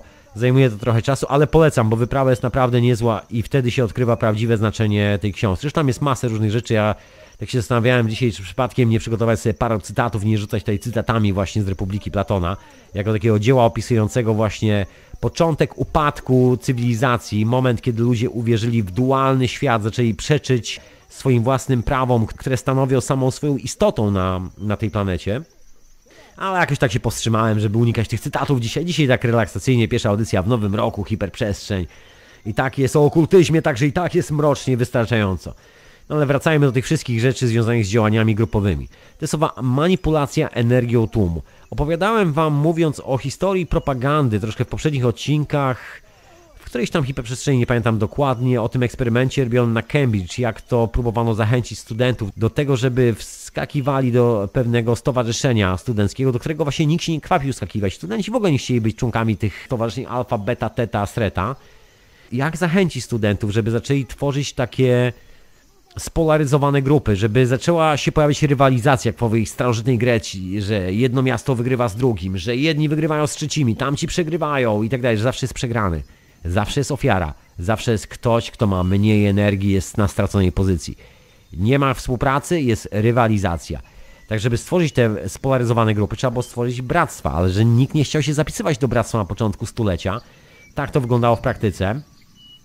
No i trzeba było zmusić ludzi, tak, że wymyślono takie ćwiczenia sportowe. Ja zapraszam Was do naprawdę tych starych odcinków hiperprzestrzenia. Tu nie chcę ileś tam razy powtarzać pod rząd tej samej historii. Myślę, że Friday będzie po prostu słyszenie od początku do końca w właściwym kontekście.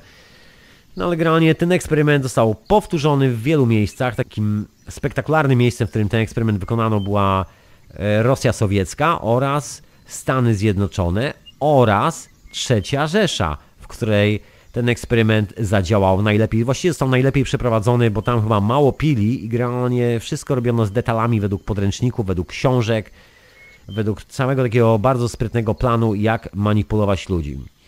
No i zabawa wygranych i przegranych, czyli trzeba stworzyć grupę przegranych na starcie, ale przegranych takich, którzy się urodzili już przegranymi, dzięki czemu ci, którzy rodzą się wybrani, w cudzysłowie rodzą się wybrani, będą od razu mieli poczucie siły i wyższości.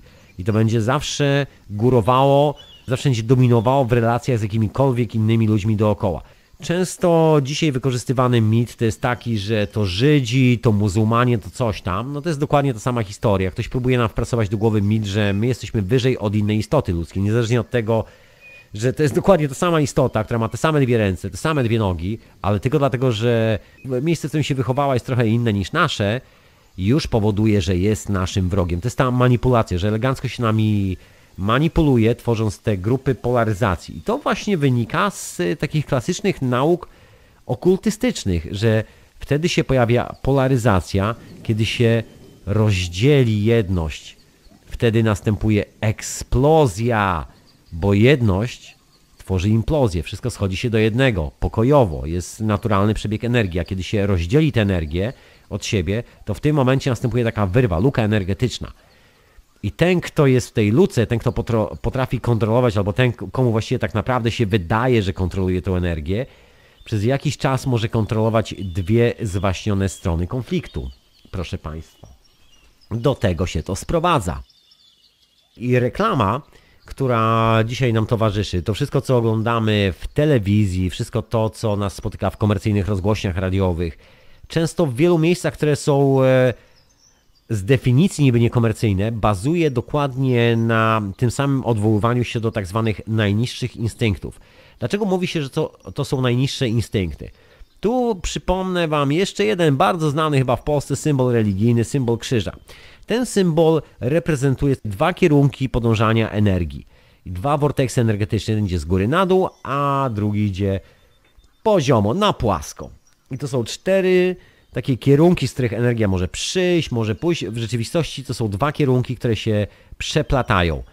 Ale jeżeli się odpowiednio zmanipuluje człowieka, czyli doprowadzi do sytuacji, kiedy właściwie nie ma już nic, kiedy jest tylko albo ciśnięty, albo może rozproszyć swoją uwagę, to jest klasyczny numer, że pracujemy przez 5 dni w tygodniu, kumulujemy, kumulujemy, nie możemy właśnie nic zrobić, bo jesteśmy zajęci robotą, i nagle przychodzi weekend i rozpraszamy swoją całą uwagę. Właściwie jesteśmy kompletnie bezradni wobec wszystkich tych możnych tego świata, którzy wymyślają wojny, wymyślają coraz wyższe podatki itd., tak itd. Tak Jeszcze jakieś 100 lat temu takiego kolesia to by chyba ścięto albo otruto, albo byłaby jakaś wielka rebelia, ale w dzisiejszych czasach nie ma, ponieważ jesteśmy kontrolowani dokładnie w ten sposób.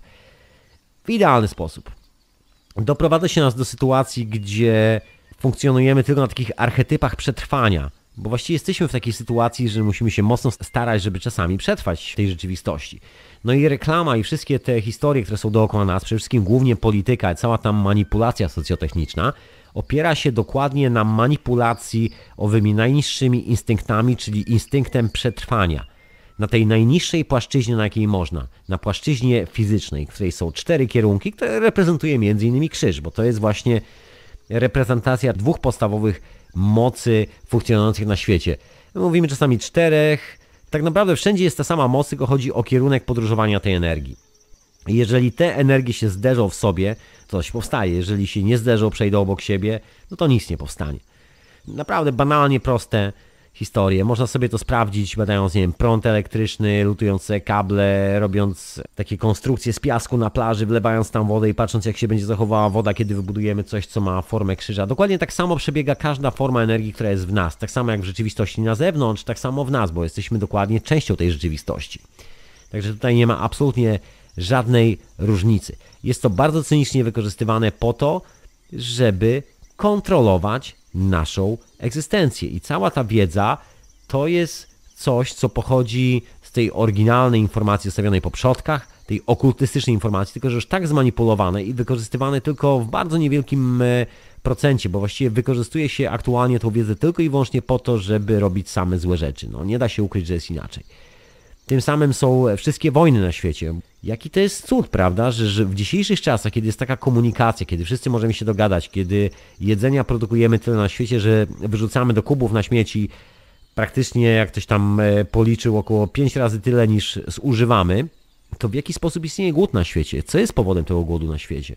Co jest powodem tych konfliktów? Co jest powodem braku dachu nad głową dla wielu ludzi na świecie? Skoro w takim mieście, w którym ja mieszkam, jak ostatnio policzono, bezdomnych jest jakieś 150 tysięcy, a pustych apartamentów w samym tylko centrum miasta jest już aktualnie niecałe półtorej miliona. Jak to się dzieje? Jak to jest możliwe, że takie absurdy się dzieją dookoła nas i my to akceptujemy? No dokładnie z tego powodu, że zmanipulowano ową grupą. Tu jest jeszcze taki klasyczny numer, że grupą się manipuluje za pomocą bardzo małej grupy ludzi. To jest to prawo Mahavisiego, prawo związane z medytacją, że jeżeli 10 osób medytuje, to jest w stanie uzdrowić sytuację dla 100 osób dookoła. I ta zasada działa też w drugą stronę, bo jest to dokładnie przepływ energii. Tak jak wspomniałem z tym krzyżem, to jest dokładnie wszędzie ta sama energia i ten sam przepływ energii. Jeżeli 10 ludzi będzie posiadało długą broń przeładowaną, będą stali w mundurach, to 100 ludzi dookoła tych 10 wariatów będzie czuło się niebezpiecznie. To jest numer wykorzystywany na lotniskach. To są wszystkie te psychologiczne gry i zabawy stosowane właśnie kiedy przechodzimy przez bramki, kiedy lądujemy na jakimś lotnisku. Musimy oddać bagaż i idziemy taką kolejką, która zabija. Teoretycznie mamy się zmęczyć. Jeżeli cokolwiek w nas jest nie tak, to ta droga jest specjalnie po to zrobiona, żebyśmy mieli czas na to, żeby się zmęczyć i żeby ktoś, kto nas obserwuje, miał czas zobaczyć, czy coś z nami jest nie tak. Ale w rzeczywistości, bo to jest jedno wytłumaczenie takie oficjalne, że to jest niby na zmęczenie terrorysty, który tam, jak się dziwnie zachował, to można go łatwo wyhaczyć z tłumu. W rzeczywistości nie do końca, bo jest to taka manipulacja grupową energią. Czyli jeżeli ludzie przed nami zachowują się jak barany, no to mamy tendencję do zachowania się jak barany, tak samo jak oni. Jeżeli ktoś nam zagrozi i ludzie obok będą się bali, no to my będziemy mieli tendencję do tego, żeby bać się tak samo jak ci ludzie. Nie musimy się bać, nie musimy tego robić. To nie jest wcale coś, co musi się nam wydarzyć. Absolutnie nie. Ale jest takie bardzo duże prawdopodobieństwo, no tam sięga 90, 80, 50%, zależy jaka osobowość, jaka jaka postać, jakie rzeczy ma w głowie aktualnie. To jest właśnie ten problem z tymi reklamami, że nie da się zmusić ludzi, którzy nie lubią oglądać reklam, do oglądania reklam. I to jest największy problem agencji reklamowych. To jest ta najbardziej cenna grupa ludzi, bo jeżeli ich się zmusi, no to w tym momencie jest się panem całego świata, bo przez tą nieszczęsną grupę, która nie ulega tym grom i zabawom, ciągle jeszcze ktoś się buntuje przeciwko wojnie, jeszcze ktoś mówi, że na wybory naprawdę nie ma sensu chodzić, jeszcze ktoś tam e, mówi inne rzeczy i wprowadza zamęt w tym doskonałym, iluzorycznym ładzie i porządku, który dookoła nas panuje. Także ta zasada 10 osób działa dokładnie w obydwie strony. Jest taka brutalna prawda, jest to bardzo często wykorzystywane. No po to są armie, po to jest policja, po to są te grupy, żeby mieć tam e, właśnie takie zbiorowisko ludzi, którzy mają dokładnie taką samą energię, że złapią za broń, zrobią komuś krzywdę. I tylko w ten sposób można zaprowadzić prawa, podatki i jakikolwiek zamordyzm na świecie. No tak to jest skonstruowane i wszystko to się opiera dokładnie na tej samej zasadzie. Z tych samych zasad e, korzystali królowie, słuchajcie, żeby było zabawniej. Na przykład ilość wojów w armii nigdy nie była przypadkowa. Do pewnego momentu, no bo wiadomo, że jeżeli chodzi o mięso armatnie, to im więcej, tym lepiej. Ale jeżeli chodzi o generałów, o podział, ile jest tych typów broni, które trzeba obsłużyć jakoś tak, zawsze jakieś takie podziały, prawda? 6, 3, 9, 12. To też nie przez przypadek. W ten sposób to najlepiej działa. Swego czasu, nie wiem czy to kiedykolwiek mówiłem, byłem na takiej prelekcji. Eric Spiegelman, jeden z największych typografów aktualnie żyjących, taki człowiek, który projektuje tak zwane specyfikacje wizualne dla lotnisk miast. Cały Berlin zaprojektował. Wszystkie znaki drogowe, wszystko to, co widzimy idąc, poruszając się po mieście, to jak nas prowadzi cała ta wizualna komunikacja. To jest taki właśnie z największych specjalistów. On ma taką zasadę, że ma konkretną ilość ludzi w swoim biurze, którą zatrudnia. Jeżeli jest tylko jedną osobę więcej, a jedną osobę mniej, to firma przestaje działać. On ma takie małe biura, takie małe teamy i zawsze jest dokładnie ta sama zasada. I się spytałem, czy to zawsze tak jest w ten sposób. Zawsze, on powiedział, że zawsze jest w ten sposób. To po prostu tak funkcjonuje i nie chce być inaczej. On nie wie, dlaczego tak jest. Sprawdzał. No i się okazuje, że jest to taka wiedza, która jest związana właśnie z tym, jak były czasami skonstruowane dwory królewskie. Te pierwociny władzy, które dokładnie na tych samych zasadach. Jest to coś, co działa. Tajemnicza geometria to jest też historia z numerologią, czyli to do czego odwołuje się na przykład judaizm bardzo mocno, to do, do czego odwołuje się bardzo mocno islam, o czym akurat w Europie nie za bardzo wiadomo. W Europie islam jest właśnie używany jako taki straszak z drugiej strony. Jest grupa tych, co wierzą w Jezusa i grupa tych, co wierzą w to, że, że był inny Mahomet. Wystarczy tylko odpowiednio podpuścić sytuację, oni będą sobie skakali do gardeł i taka Bośnia-Hercegowina wcale nie jest jakimś wielkim problemem do zrobienia, a jest zawsze kupa kasy do zarobienia dzięki temu. I ta manipulacja jest nieustannie wykorzystywana dookoła. To jest właśnie ta No niestety klasyczna okultystyczna wiedza, która została użyta i wykorzystana do tak potwornie niecnych celów, że to czasami człowiek ręce załamuje. No bo o czym mówi ta wiedza? O tym, że jesteśmy takim unitem, przez który musi poprawnie przepływać energia. Jedyna wiedza, jakiej używamy, to używamy tej wiedzy pod tytułem jak się zepsuć i jak nie korzystać z tego, co stanowi o naszej istocie. Taki fenomen troszeczkę. I te krzyżyki, i te teraz to się nazywa Gwiazda Dawida. Przecież to straszne złodziejstwo było ukradzenie tego symbolu. Przecież to był stary alchemiczny symbol i on został ukradziony za pomocą kabały. Kabała to też jest ukradziona rzecz ze starych a opowieści jeszcze z Aleksandrii, po którą podpisało się kilku ortodoksyjnych wyznawców Kaddiszu i stwierdzili, że to e, świadczy o istnieniu ich Boga. No, brawo, brawo, brawo. To moje buty, to ja sobie też wymyślę jakiegoś Boga i stwierdzę, że na przykład moje idee świadczą o istnieniu Boga mojego buta. To jest dokładnie to samo. Użyję jakiegoś symbolu. Krzyżyka na przykład, albo coś w tym stylu.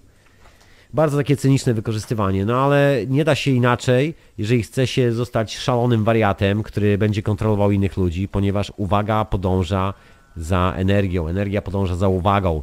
To są jakby światy, które funkcjonują w tym samym ekosystemie, także jeżeli chce się zmanipulować rzeczywistość, to trzeba też manipulować symbole, którymi opisywana jest ta praenergia, ta esencjonalna energia, która nas tworzy, która tworzy całe życie dookoła. A tymczasem jakaś muzyczka, proszę Państwa. Czas najwyższy. Mówiłem, że dużo muzyczki będzie, no to nadrabiam.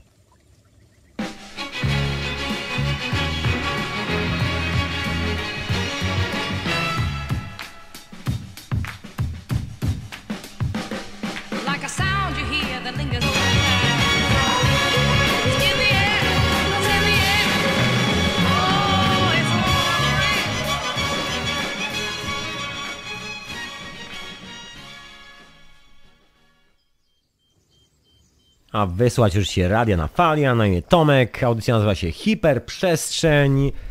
Możecie śmiało dzwonić radionafali.com, taki jest adres na Skype'ie. Audycja jest e, też retransmitowana w radiu paranormalnym. No i lecę dalej z tą opowieścią, bo zostały nam ostatnie dwa punkty tych całych dzisiejszych rozważań na temat okultyzmu, naszej energii, tego czym jesteśmy, jak się używa okultyzmu, jaki to jest kawałek tej starożytnej wiedzy. No więc przejdźmy do czwartego punktu tej całej opowieści który się nazywa Słońce i Księżyc. Właśnie, bo tak nie na darmo wspomniałem o symbolu krzyża. I o to, że są to dwa rodzaje energii, właściwie to jest jedna i ta sama poniekąd, to będę musiał pewnego dnia wyjaśnić konkretnie. Bo wszystko jest jedną energią, ale chodzi o, ja to w skrócie mówię, vorteksy energetyczne, czyli sposób, w jaki ta energia podróżuje dookoła nas. Dlaczego Słońce i Księżyc co to ma wspólnego z krzyżem? To dosyć proste. Słońce emanuje bezpośrednią energią w Ziemię. To jest tak zwany, z angielskiego jest direct, czyli bezpośrednia energia. To jest coś bezpośrednio jak strzała wystrzelona z łuku prosto do ciebie słuchaczka albo do ciebie słuchaczu. Tylko w dobrej intencji. Jabłko na głowie i bardzo celnie. Żadnych krwawych numerów. Nie chcę nikogo zabić. Ta audycja jest bezkrwawa. A drugi kierunek to jest energia odbita, która jest związana z polem grawitacyjnym Ziemi, czyli jest w poprzek, tak jak horyzont. Dlatego to, co widzimy, się zawija za horyzontem i tak dalej. Jest kilka bardzo ciekawych spraw, które mam nadzieję w tym roku Wam opowiem, związanych właśnie z badaniami nad e, i naszą percepcją nad tym, czym jest świat dookoła, który na co dzień obserwujemy. Bo jest kilka ciekawych w ogóle rzeczy, o których niewiele ludzi mówi. Nie jest to też popularna wiedza z wielu powodów, ale to, to innym razem. Skupmy się na tym naszym symbolu krzyża, który reprezentuje te dwa kierunki owej radiacji. To jest ta sama kosmiczna energia w obydwu przypadkach, tylko jedna podąża w jeden sposób, poziomo, jakby się coś ciągnęło po Ziemi, takie jak, nie wiem, woda płynie po Ziemi, a druga jest energią, która przychodzi z kosmosu. Słońce energia bezpośrednia, Księżyc jest tą energią grawitacyjną, która nas otacza, jeżeli byśmy byli kulką. Takie najprostsze wytłumaczenie tych kosmicznych mocy. To jest taki opis ciała energetycznego, którym jesteśmy razem z tą planetą. To właśnie reprezentuje krzyż. Reprezentował od zawsze. Skąd się wziął cyrkiel? Cyrkiel reprezentuje trójkąt. To jest właśnie ta nawigacja po mocach kosmosu. Żeby móc nawigować po jakimkolwiek miejscu, trzeba mieć trzy rodzaje danych. Trzeba mieć częstotliwość poziomą, pionową, tak można w skrócie powiedzieć, i trzeba mieć punkt odniesienia, też jakąś częstotliwość. Dlatego cyrkiel, ponieważ jest to urządzenie, które łączy ze sobą owe dwa punkty. Przepływ mocy. Nie ma nic wspólnego z masonami, znaczy ma, ok, masoni się nim podpisują od jakichś 500 lat, coś koło tego. Dawniej należał do wolno, wolnomularzy, ludzi, po których ślad zanikł, to są ludzie, którzy budowali katedry. Dzisiejsi wolnomularze, dzisiejsi masoni właściwie mają tyle co nic wspólnego z owymi ludźmi, ponieważ katedry budowali heretycy. Katedry budowali gnostycy, ponieważ tą wiedzę posiadali gnostycy. Gnostykom została wykradziona tą wiedzę opisana w Kabale w 1200 którymś tam roku już po krucjatach abigejskich. To stąd się wzięło, kiedy alchemia była zakazana w Europie i za w ogóle używanie słowa alchemia, za pisanie jakichkolwiek traktatów naukowych, robienie jakichkolwiek eksperymentów w laboratorium, można było spłonąć, e, nie tyle spłonąć, ile zostać zaszlachtowanym przez tłum napuszczony przez lokalnego księdza. To było w Anglii, to było w całej Europie do końca XVII wieku. Dlatego Newton, ów Sir Isaac Newton, tak się chował po kątach, ponieważ bał się, że wtargnie do niego ekipa, którą wyśle mu lokalny proboszcz i chłopaka poćwiartują. On jeszcze miał takie rzeczy, że on tam lubił chłopaków, jeszcze oprócz tego zupełnie nie pasował do aktualnie panującego wtedy dyktatu. Także był skazany na milczenie. Dopiero na łożu śmierci odważył się wyznać, że tak naprawdę całe życie był alchemikiem, odwołując, jak się nazywa, kiedy księdza przeprowadzają, e, kiedy człowiek schodzi z tego świata. Ostatnio, nie mam pojęcia, nie jestem katolikiem, także ciężko mi tutaj kumać te terminy, no ale generalnie przeprowadzają wtedy księdza. Właśnie Sir Isaac Newton powiedział, że nie chce widzieć żadnego diabła, żadnego heretyka, żadnego szatana i że on e, nie wierzy w te diabelskie moce. On w ogóle nazywał to satanizmem, w ogóle nazywał całe chrześcijaństwo satanizmem, ale wyznał to dopiero pod koniec swojego życia na łoży śmierci, umierając. Takie były czasy. Księgi palono jeszcze do XVII-XVIII wieku i to nie było z tym e, żadnej dyskusji. Jak jakaś książka nie pasowała do panującej dyktatury, automatycznie na stos. Nam się mówi, że to już były takie czasy oświecone. Oświecone były w paru miastach Europy, tylko na paru dworach, gdzie można było trzymać te książki. Natomiast reszta była mocno podpalana, że tak powiem. Także ten trójkąt, który został przejęty przez masonów, to właściwie dopiero jakiś tam XVII wiek, właściwie symbol e, cyrkla. I to też tak bez jakiejś specjalnej spuścizny. No tam trochę zostało niby po tych gnostykach, w sensie wiara w jedność i tak dalej, i tak dalej. Tu to w ogóle chyba trzeba osobny w ogóle temat na temat korzeni masonerii zrobić. No nie takich korzeni finansowych, o których tam Marcin Daktera opowiadał świetnie w e, zakazanej wiedzy, tylko o korzeniach tych troszeczkę ezoterycznych w cudzysłowie, bo to trochę jakby inna sprawa. Chciwość e, nie zawsze ma cokolwiek wspólnego z duchowością, tak bym to powiedział. Chociaż jedno czasami wykorzystuje drugie, albo odwrotnie. Różnie to bywa. Ale to nie znaczy, że to jest ta sama historia. Anyway, także wracając do tej nawigacji, ów cyrkiel, czyli trójkąt, reprezentuje nawigację po kosmosie. Dlatego zawsze w symbol koła jest pisany trójkąt. To jest ta permanentna, nieustanna moc energii, która jest dookoła nas. Słuchajcie, o tej mocy pięknie mówi Jan Taratajcio, opowiadając w swojej prezentacji o tym, jak funkcjonuje dźwięk, na czym polega właściwe strojenie. Opowiada dokładnie o rzeczach, które zostały zapomniane na jakieś 2000 lat. Ostatni raz o tym pisał Pitagoras, to jest tak zwany strój pitagorejski i on się walnął w obliczeniach i wyszło mu 8 Hz. Później było przeliczanie tego na nowo w 1817 czy 30 którymś tam roku przez dwóch Francuzów, którzy też się walnęli w obliczeniach, też nie wiedzieli jak to posklejać i też e, trzymali się 8 Hz. 2000 lat musiało minąć, albo jakoś tak, z kawałkiem, żeby wreszcie wróciło do nas to, że to jest informacja, że to jest opis tego, jak funkcjonuje ta niewidoczna energia, która jest dookoła nas.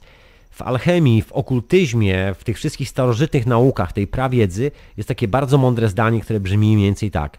Wiedza jest niewidoczna. Dotyczy to wszystkich tych niewidocznych sił, dlatego używamy symboliki, dlatego używamy tych wszystkich wzorów, ponieważ one załamują, zakrzywiają tą przestrzeń dookoła nas. To stąd powstaje muzyka, stąd powstaje dźwięk, stąd powstaje obraz, że zakrzywimy tą przestrzeń w lampie. Teraz zakrzywiamy tą przestrzeń w ciekłokrystalicznych panelach. Dzięki temu wyświetla nam się obrazek na ekranie laptopa. Dawniej robiliśmy to z lampami. Ciągle dokładnie to samo. Dwa rodzaje przepływającej energii. Jedna, która jest tak naprawdę pochodzi z jednej formy energii, to jest ta sama kosmiczna energia. Jedna jest odbita, a druga jest bezpośrednia. I polaryzacja pomiędzy tymi energiami tworzy życie. To są owe kosmiczne moce, ciało energetyczne, z którego jesteśmy zrobieni. O tym właściwie mówią te symbole. Nam się często je demonizuje, właśnie nie tyle często je. W dzisiejszych czasach te symbole są potwornie zdemonizowane. Inna sprawa, że no nie tylko wyznawcy Tory ukradli starą pradawną symbolikę, która należała do nas wszystkich. Tak jakby wziąć na przykład ukraść słońce i się podpisać, powiedzieć od dzisiaj to ja jestem właścicielem słońca. To jest dokładnie ten sam numer. Cwaniaków, którzy podpisują się pod słońcem jak pod swoją własnością, jest na świecie masę. No i nieszczęśliwie dla nas masa tych cwaniaków podpisuje się właśnie owymi symbolami. To są ludzie związani z nazistami przede wszystkim. To dlatego później ta dziwna, zaskakująca spuścizna w NASA i w amerykańskich służbach wywiadowczych związana z okultyzmem. Stąd te wszystkie dziwne ceremonie, o których czasami słyszymy. Nie wiemy, czy one się dzieją. Niektóre się wydarzyły, bo zostały kawałki wideo po tym wszystkim i trochę to wygląda przerażająco. To jest też kwestia tak zwanego czarnego słońca. To jest ta prastara informacja, że słońca w rzeczywistości nie ma, my tylko widzimy coś, co wygląda nas jak słońce. Jest to coś, co ładuje w nas energią i jest czarne i puste w środku. To stąd jest w bardzo wysokich stopniach ma masonerii jest takie wtajemniczenie, jest związane właśnie z tym symbolem czarnego słońca. W kilku szkołach ezoterycznych właśnie o tym się bardzo często mówi. To jest dokładnie wiedza o tym, jak jest skonstruowany kosmos. Nie o tym, e, to jest właścicielem tego kosmosu, bo naprawdę ciężko być człowiekiem, który ma dwie nogi i dwie ręce i jest śmiesznie ubrany, tudzież uczestniczy w jakichś dziwnych ceremoniach, że jest właścicielem kosmosu. To jest taka naprawdę bardzo, że tak powiem, osobliwa metafora swojego jestestwa, bym powiedział. No ale to też nie wzięło się znikąd. Słuchajcie, to czarne słońce to jest cała historia, która jeszcze pochodzi sprzed Aleksandrii, z Egiptu. To jest Ozyrys. Czy kojarzycie te figurki, które mają słońce pomiędzy rogami na głowie? Lwie głowy i słońce, które jest na samej górze. No wszystkie te figury, to jest generalnie cała ta historia związana z e, tym geocentrycznym e, cyklem, który jest obserwowany z Ziemi i wyliczaniem przestrzeni, w której funkcjonujemy, właśnie według tych cykli i używaniem tego, co się nam wyświetla, jakbyśmy sobie rozpisali te wszystkie miejsca, gdzie te gwiazdy mają swoje koniunkcje, zderzenia i tak dalej, i tak dalej, jak wyglądają całe cykle, przełożeniem tego na trójwymiarowe bryły. To są te bryły platońskie, to jest, tak jak wspomniałem, muzyka, sposób, w jaki formuje się dźwięk. Na pewno widzieliście takie eksperymenty, że jest talerz podłączony pod głośnik, który jest na samym dole, wysypuje się kawałek soli i emituje częstotliwości i układają się w konkretne kształty. To jest dokładnie ta sama historia. Dlaczego ósemka na przykład? Skąd się wzięła ósemka?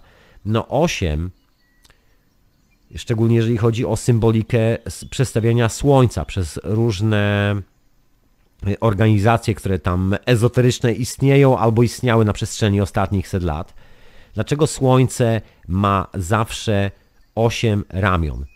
Ponieważ cykl słońca względem księżyca wynosi dokładnie 8 lat. Musi być 8 zim i 8 wiosen i 8 letnich kawałków roku i jesiennych, żeby Słońce i Księżyc stanęły dokładnie w tym samym miejscu, spotkały się i z powrotem zaczęły nowy cykl.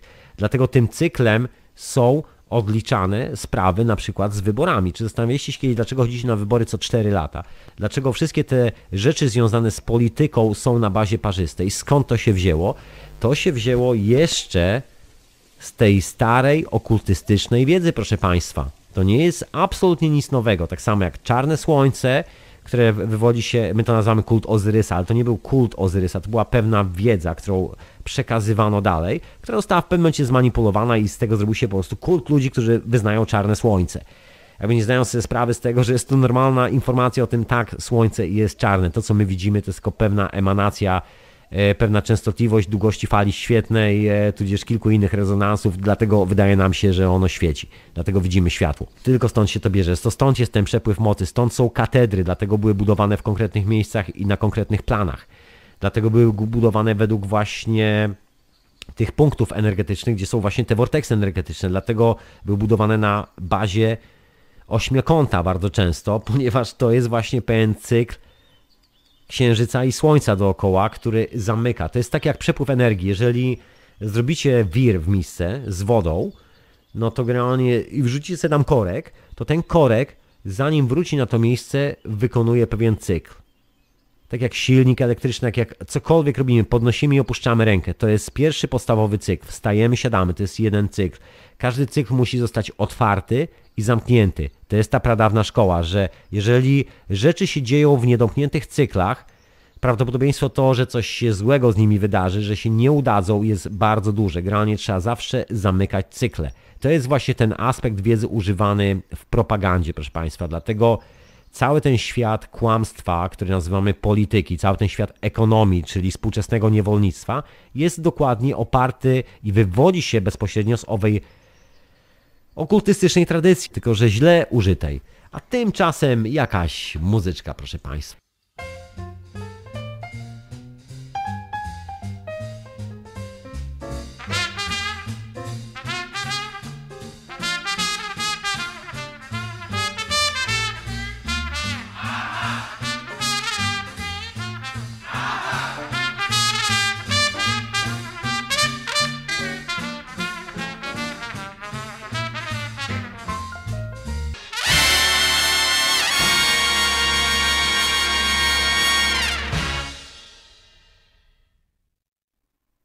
A wy słuchacie radia na fali hiperprzestrzeni. e, Retransmitowanej też w Radiu Paranormalnym. Już odbieram telefon. Proszę, a właśnie, proszę śmiało dzwonić. Proszę śmiało dzwonić. Już jestem absolutnie dostępny, bo jak leci muzyczka, to po prostu nie odbieram telefonu, sobie słucham muzyczki, także zapraszam śmiało do dzwonienia. No i ostatni rozdział e, dzisiejszej opowieści, tak żeby zamknąć cykl piątką, pełną alchemiczną piątką czyli e, o pułapce teologii. No bo żyjemy w czasach, gdzie mamy bardzo poważny problem z kontekstem informacji. Jesteśmy osaczeni właściwie tą informacją z każdej możliwej strony. Widzimy te symbole ezoteryczne, widzimy masę tych e, dziwnych organizacji, które odpowiadają za naprawdę potworne ludobójstwa. I to wszędzie, począwszy od pierwszych obozów koncentracyjnych zakładanych przez belgijskich i niemieckich kolonialistów, to oni pierwsi, że tak powiem, wypruli Afrykę jakby do gołej ziemi, po prostu wyorali, mordując e, ludzi na masową skalę, zakładając pierwsze obozy koncentracyjne. Jeszcze w czasach właśnie kolonializmu. Każdy z nich należał do jakiejś dziwnej loży, miał jakieś dziwne symbole, prawda? Jakieś takie historie. Te symbole ciągle były związane, zawsze, właściwie do dzisiaj są związane z bardzo złymi ludźmi, po których no ciężko spodziewać się czegokolwiek dobrego. A to z prostego powodu. Po prostu informacja straciła swój kontekst.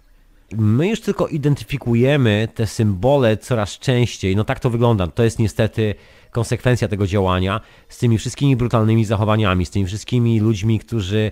No my mówimy, że się zwierzęcili. Ja myślę, że zwierzęta stoją o wiele wyżej na jakiejkolwiek drabinie, że jakakolwiek drabina istnieje wyżej od tych ludzi.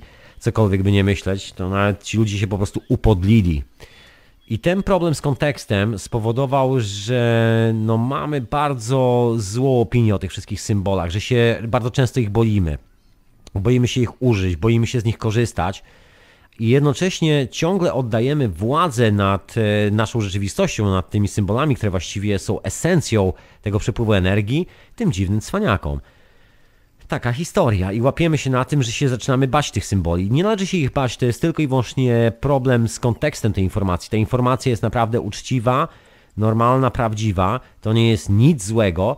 Złe może być tylko zachowanie ludzi, którzy operują tą informacją, nie mówiąc nam o tym. Po prostu tak po cichu tam wykorzystują wszystkie te cykle. Ważne, żeby się cykl zamknął, tak jak mówię. To jest najważniejsze. Jeżeli się nie zamknie, no to wiadomo, że sprawa się nie odbyła. A dopiero jak się zamknie, no to wtedy są konsekwencje tego działania, także można wtedy oczekiwać na jakieś e, efekty. Problem z kontekstem informacji, no i konkretna sprawa związana z, z religią i wiedzą. No to jest ta historia związana z kondensacją energii i jej rozpraszaniem, a byciem po prostu tą energią. To jest ta cała historia z technokratyzowaniem społeczeństwa, że nam się wymyśla, że musimy mieć non-stop zegarek, na który się oglądamy i w tym momencie nasza energia się rozprasza, bo gdzieś musimy być w tym momencie, musimy gdzieś pędzić, że musimy sobie mikrochipy wpinać i one nas będą kontrolowały i nasze własne życie, że już zamieniamy się w takie bioroboty troszeczkę. Nawet nie tyle bio, ile właśnie taki transhumanizm, który jest e, nam tu wciskany na siłę, żebyśmy w ogóle jak najwięcej tego wszystkiego nosili na sobie. Ja już tutaj nie chcę mówić o tak zwanym smogu elektromagnetycznym, który wydzielają te urządzenia, bo to w ogóle osobna historia na osobny temat. No przede wszystkim jest to ta historia związana z tym, że nie posiadając tej wiedzy, oddajemy, swo- swoją głowę oddajemy ludziom, którzy zajmują się religią i wymyślają nam teologię. I właściwie tak jak te symbole przestały już znaczyć to, co oryginalnie znaczą, i zaczynają służyć właśnie do straszenia ludzi, tak samo wiedza już nie jest wiedzą, tylko ktoś wybrał kawałki z tej wiedzy, takie, żeby nikomu nie zagroziły przypadkiem spaść z tronu ani, albo stracić władzę, tylko żeby ta władza cały czas trwała i żeby już była wiarą. Zobaczmy na współczesną naukę, na współczesną fizykę. Ja akurat tak szczęśliwie lub nie robię ten serial w radiu na fali o nazwie Synteza o wolnej energii, do którego Was bardzo serdecznie zapraszam. I tam jest masa takich historii, gdzie się nagle okazuje, że współczesna nauka jest po prostu religią, która bazuje na pewnym dogmacie, który wymyślił ktoś 200 lat temu. Grupa nawalonych kolesi powiedziała, bierzemy to! Dosłownie, autentycznie, tak było z Newtonem. Kolesie siedzieli, pili szery, a Newton wysyłał im listy ze swoimi prawami. Oni się zbierali raz na dwa tygodnie. Tam są rachunki za ilość tej sherry, którą oni sobie zamawiali do, na, na te posiedzenia. Oni siedzieli, czytali, jeden z nich zawsze czytał, czytał te listy od Newtona i to było Królewskie Towarzystwo Naukowe i kompletnie nawaleni stwierdzali, okej, ten koleś ma rację. I tak oto powstała religia, u nas jest współczesna nauka. Także no jest to do sprawdzenia, moi drodzy, także nie są to czary mary. My dzisiaj nie lubimy za bardzo, szczególnie, że jesteśmy sklejeni w jakiś sposób edukacyjny z nauką o tym mówić, bo to jest takie faux pas, bo to troszeczkę jakbyśmy sobie sami strzelali w kolano. No niestety, tak już się stało, że religia zastąpiła naukę. Czy to kwestia czarnych dziur, czy kwestia tego, czym kosmos jest, a czym nie jest. To wszystko jest religią. Tak naprawdę nikt nie jest w stanie tego zbadać, a informacje, które są potwierdzane eksperymentalnie, są zakopywane pod ziemię, ponieważ wywracają dogmaty religijne, które stały się podstawą współczesnej religii o nazwie nauka. To jest taki ciężki punkt w tym programie, który ciężko przeskoczyć. No i kolejna rzecz, trzecia, czyli zmiany na Ziemi i e, rzeczywiste znaczenie energii Saturna. To jest w ogóle ciekawa sprawa, bo jednym z kontekstów tej całej informacji jest to, że coś na nas wpływa dobrze, coś źle. To jest ta słynna historia z Saturnaliami, czyli tymi świętami, które ostatnio minęły. Że Saturn ma strasznie złe znaczenie, że to si- siły mocy, siły energii sprasowane i tak dalej, że to nas zabije i doprowadza do wojny. Mars i Saturn atakują, musimy uciekać. No nie do końca, moi drodzy. Rzeczywiste znaczenie tych energii jest takie, że są to po prostu bardzo duże moce, intensywne, że dostajemy taki duży, no po angielsku mówiąc, stream energetyczny, czyli taki ciąg energetyczny, podłączamy się pod bardzo dużą moc i jeżeli nie potrafimy sobie z tym poradzić, to może być tak, że sprasowani odpowiednimi okolicznościami zaczniemy zachować się jak e, wariaci, zaczniemy robić komuś krzywdę. To nie jest kwestia znaczenia jakiegoś negatywnego albo pozytywnego. To jest tylko kwestia dużej ilości energii albo małej ilości energii. Dlatego w tych wszystkich starożytnych historiach, dokładnie w tym momencie w roku, w którym jesteśmy, do 6 stycznia zdaje się, kiedy jest to przesilenie na niebie, dokładnie 6 stycznia wszystkie planety stają w takiej równej linii, jakby kończą tą równą linię i zaczną się rozchodzić z powrotem. Od tego momentu zaczyna się karnawał i ten moment, do którego właściwie w którym my teraz astronomicznie jesteśmy, nawet w tym gregoriańskim kalendarzu, to powinna być i zawsze w tych pradawnych kulturach była jedna wielka impreza. Właśnie po to, żeby tą energię wykorzystać na robienie dzieci w cudzysłowie, na tworzenie nowego świata, na robienie miłości, na robienie dobrych spotkań, relacji między sobą, a nie wojny, ponieważ to jest potężna energia i kiedy ją się ukierunkuje w niewłaściwy sposób, może być duży problem. Tu chodzi o energię. Jak się za dużo załaduje energii, no to tak jak bezpiecznik, po prostu strzela. Jest za dużo prądu, strzela. Jest za mało prądu, to w ogóle żaróweczka nie ruszy. A to jest taki moment, gdzie prądu jest bardzo dużo i wszelkie pojęcie bezpiecznika po drodze, no właśnie trzeba wyjąć. Po prostu ją trzeba użyć w jakiś taki konsekwentny sposób. Impreza jest najlepsza w tym momencie roku. To są te pradawne obyczaje i one mają podłoże takie dosyć konkretne, bo jeżeli sprawdzicie sobie rezonansy na przykład tej planety, jak wygląda ten skok rezonansów pomiędzy różnymi porami roku, no to teraz jest taki moment, że dostajemy taką dużą dawkę energii gdzieś tam z kosmosu, tej niewidocznej. Tak jak mówiłem, wiedza jest niewidoczna, ta energia też jest niewidoczna, ale dobrze było pamiętać, że ona jest. To, że jej nie widzimy, to nie znaczy, że światła podczerwonego albo ultrafioletu nie ma. I ostatni element tej układanki, taki powrót do owego Platona i Republiki, no to jest właśnie jedno z takich ostatnich dzieł alchemicznych, można powiedzieć, gdzie jest opisana cała ta transformacja i o tym, co się dzieje z energią, kiedy podąża w jakiś zmanipulowany sposób, kiedy następuje rozdwojenie, kiedy nie ma tej jedności. I co się dzieje z naszym życiem, i to nie na przestrzeni właściwie jednego życia, tylko na przestrzeni paru żyć, gdzie ze zwykłego, przysłowiowego chłopa ewoluujemy do wojownika, a później stajemy się filozofem na samym końcu tej opowieści. I tak reinkarnujemy z życia na życie, z życia na życie, wprowadzając nowe to prawa, starając się stworzyć jakieś prawa, aby na końcu zrozumieć, że właściwie wszystko jest prawem e, kosmicznym, wszystko jest jednością. I do tego się to sprowadza. Cała ta historia z okultyzmem. Nieszczęśliwie tak jest wykorzystywany w tych dzisiejszych czasach, że służy tylko i wyłącznie do propagandy i do manipulacji ludźmi. Szkoda. No ale mam nadzieję, że być może jesteśmy pierwszym pokoleniem, które to zmieni dosyć radykalnie.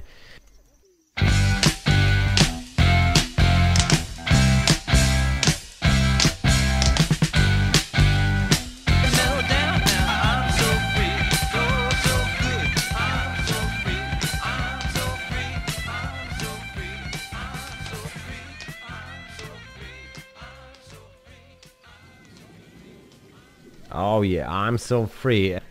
A wysłuchacie hiperprzestrzeni w radiu na fali, która jest też transmitowana w radiu Paranormalium.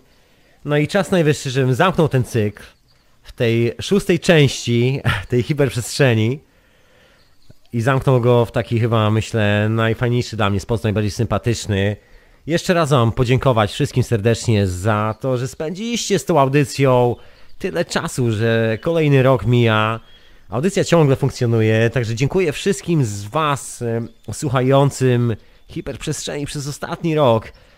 I pozdrawiam oczywiście bardzo serdecznie i szalenie mi miło przywitać wszystkich tych, którzy się pojawili w tym roku i zaczęli słuchać w tym roku hiperprzestrzeni i odkryli coś sympatycznego, miłego dla siebie jako formę spędzania czasu i myślę ciekawe opowieści mam nadzieję.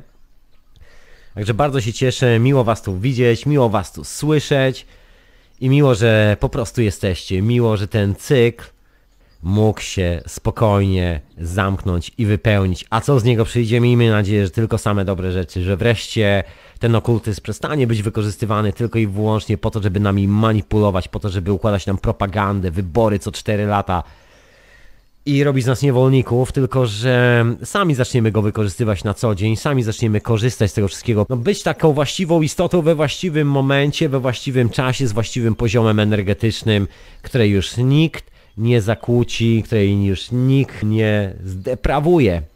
Także dziękuję serdecznie wszystkim za słuchanie. To była hiperprzestrzeń, pierwsza hiperprzestrzeń w tym kalendarzowym roku w radionafali.com.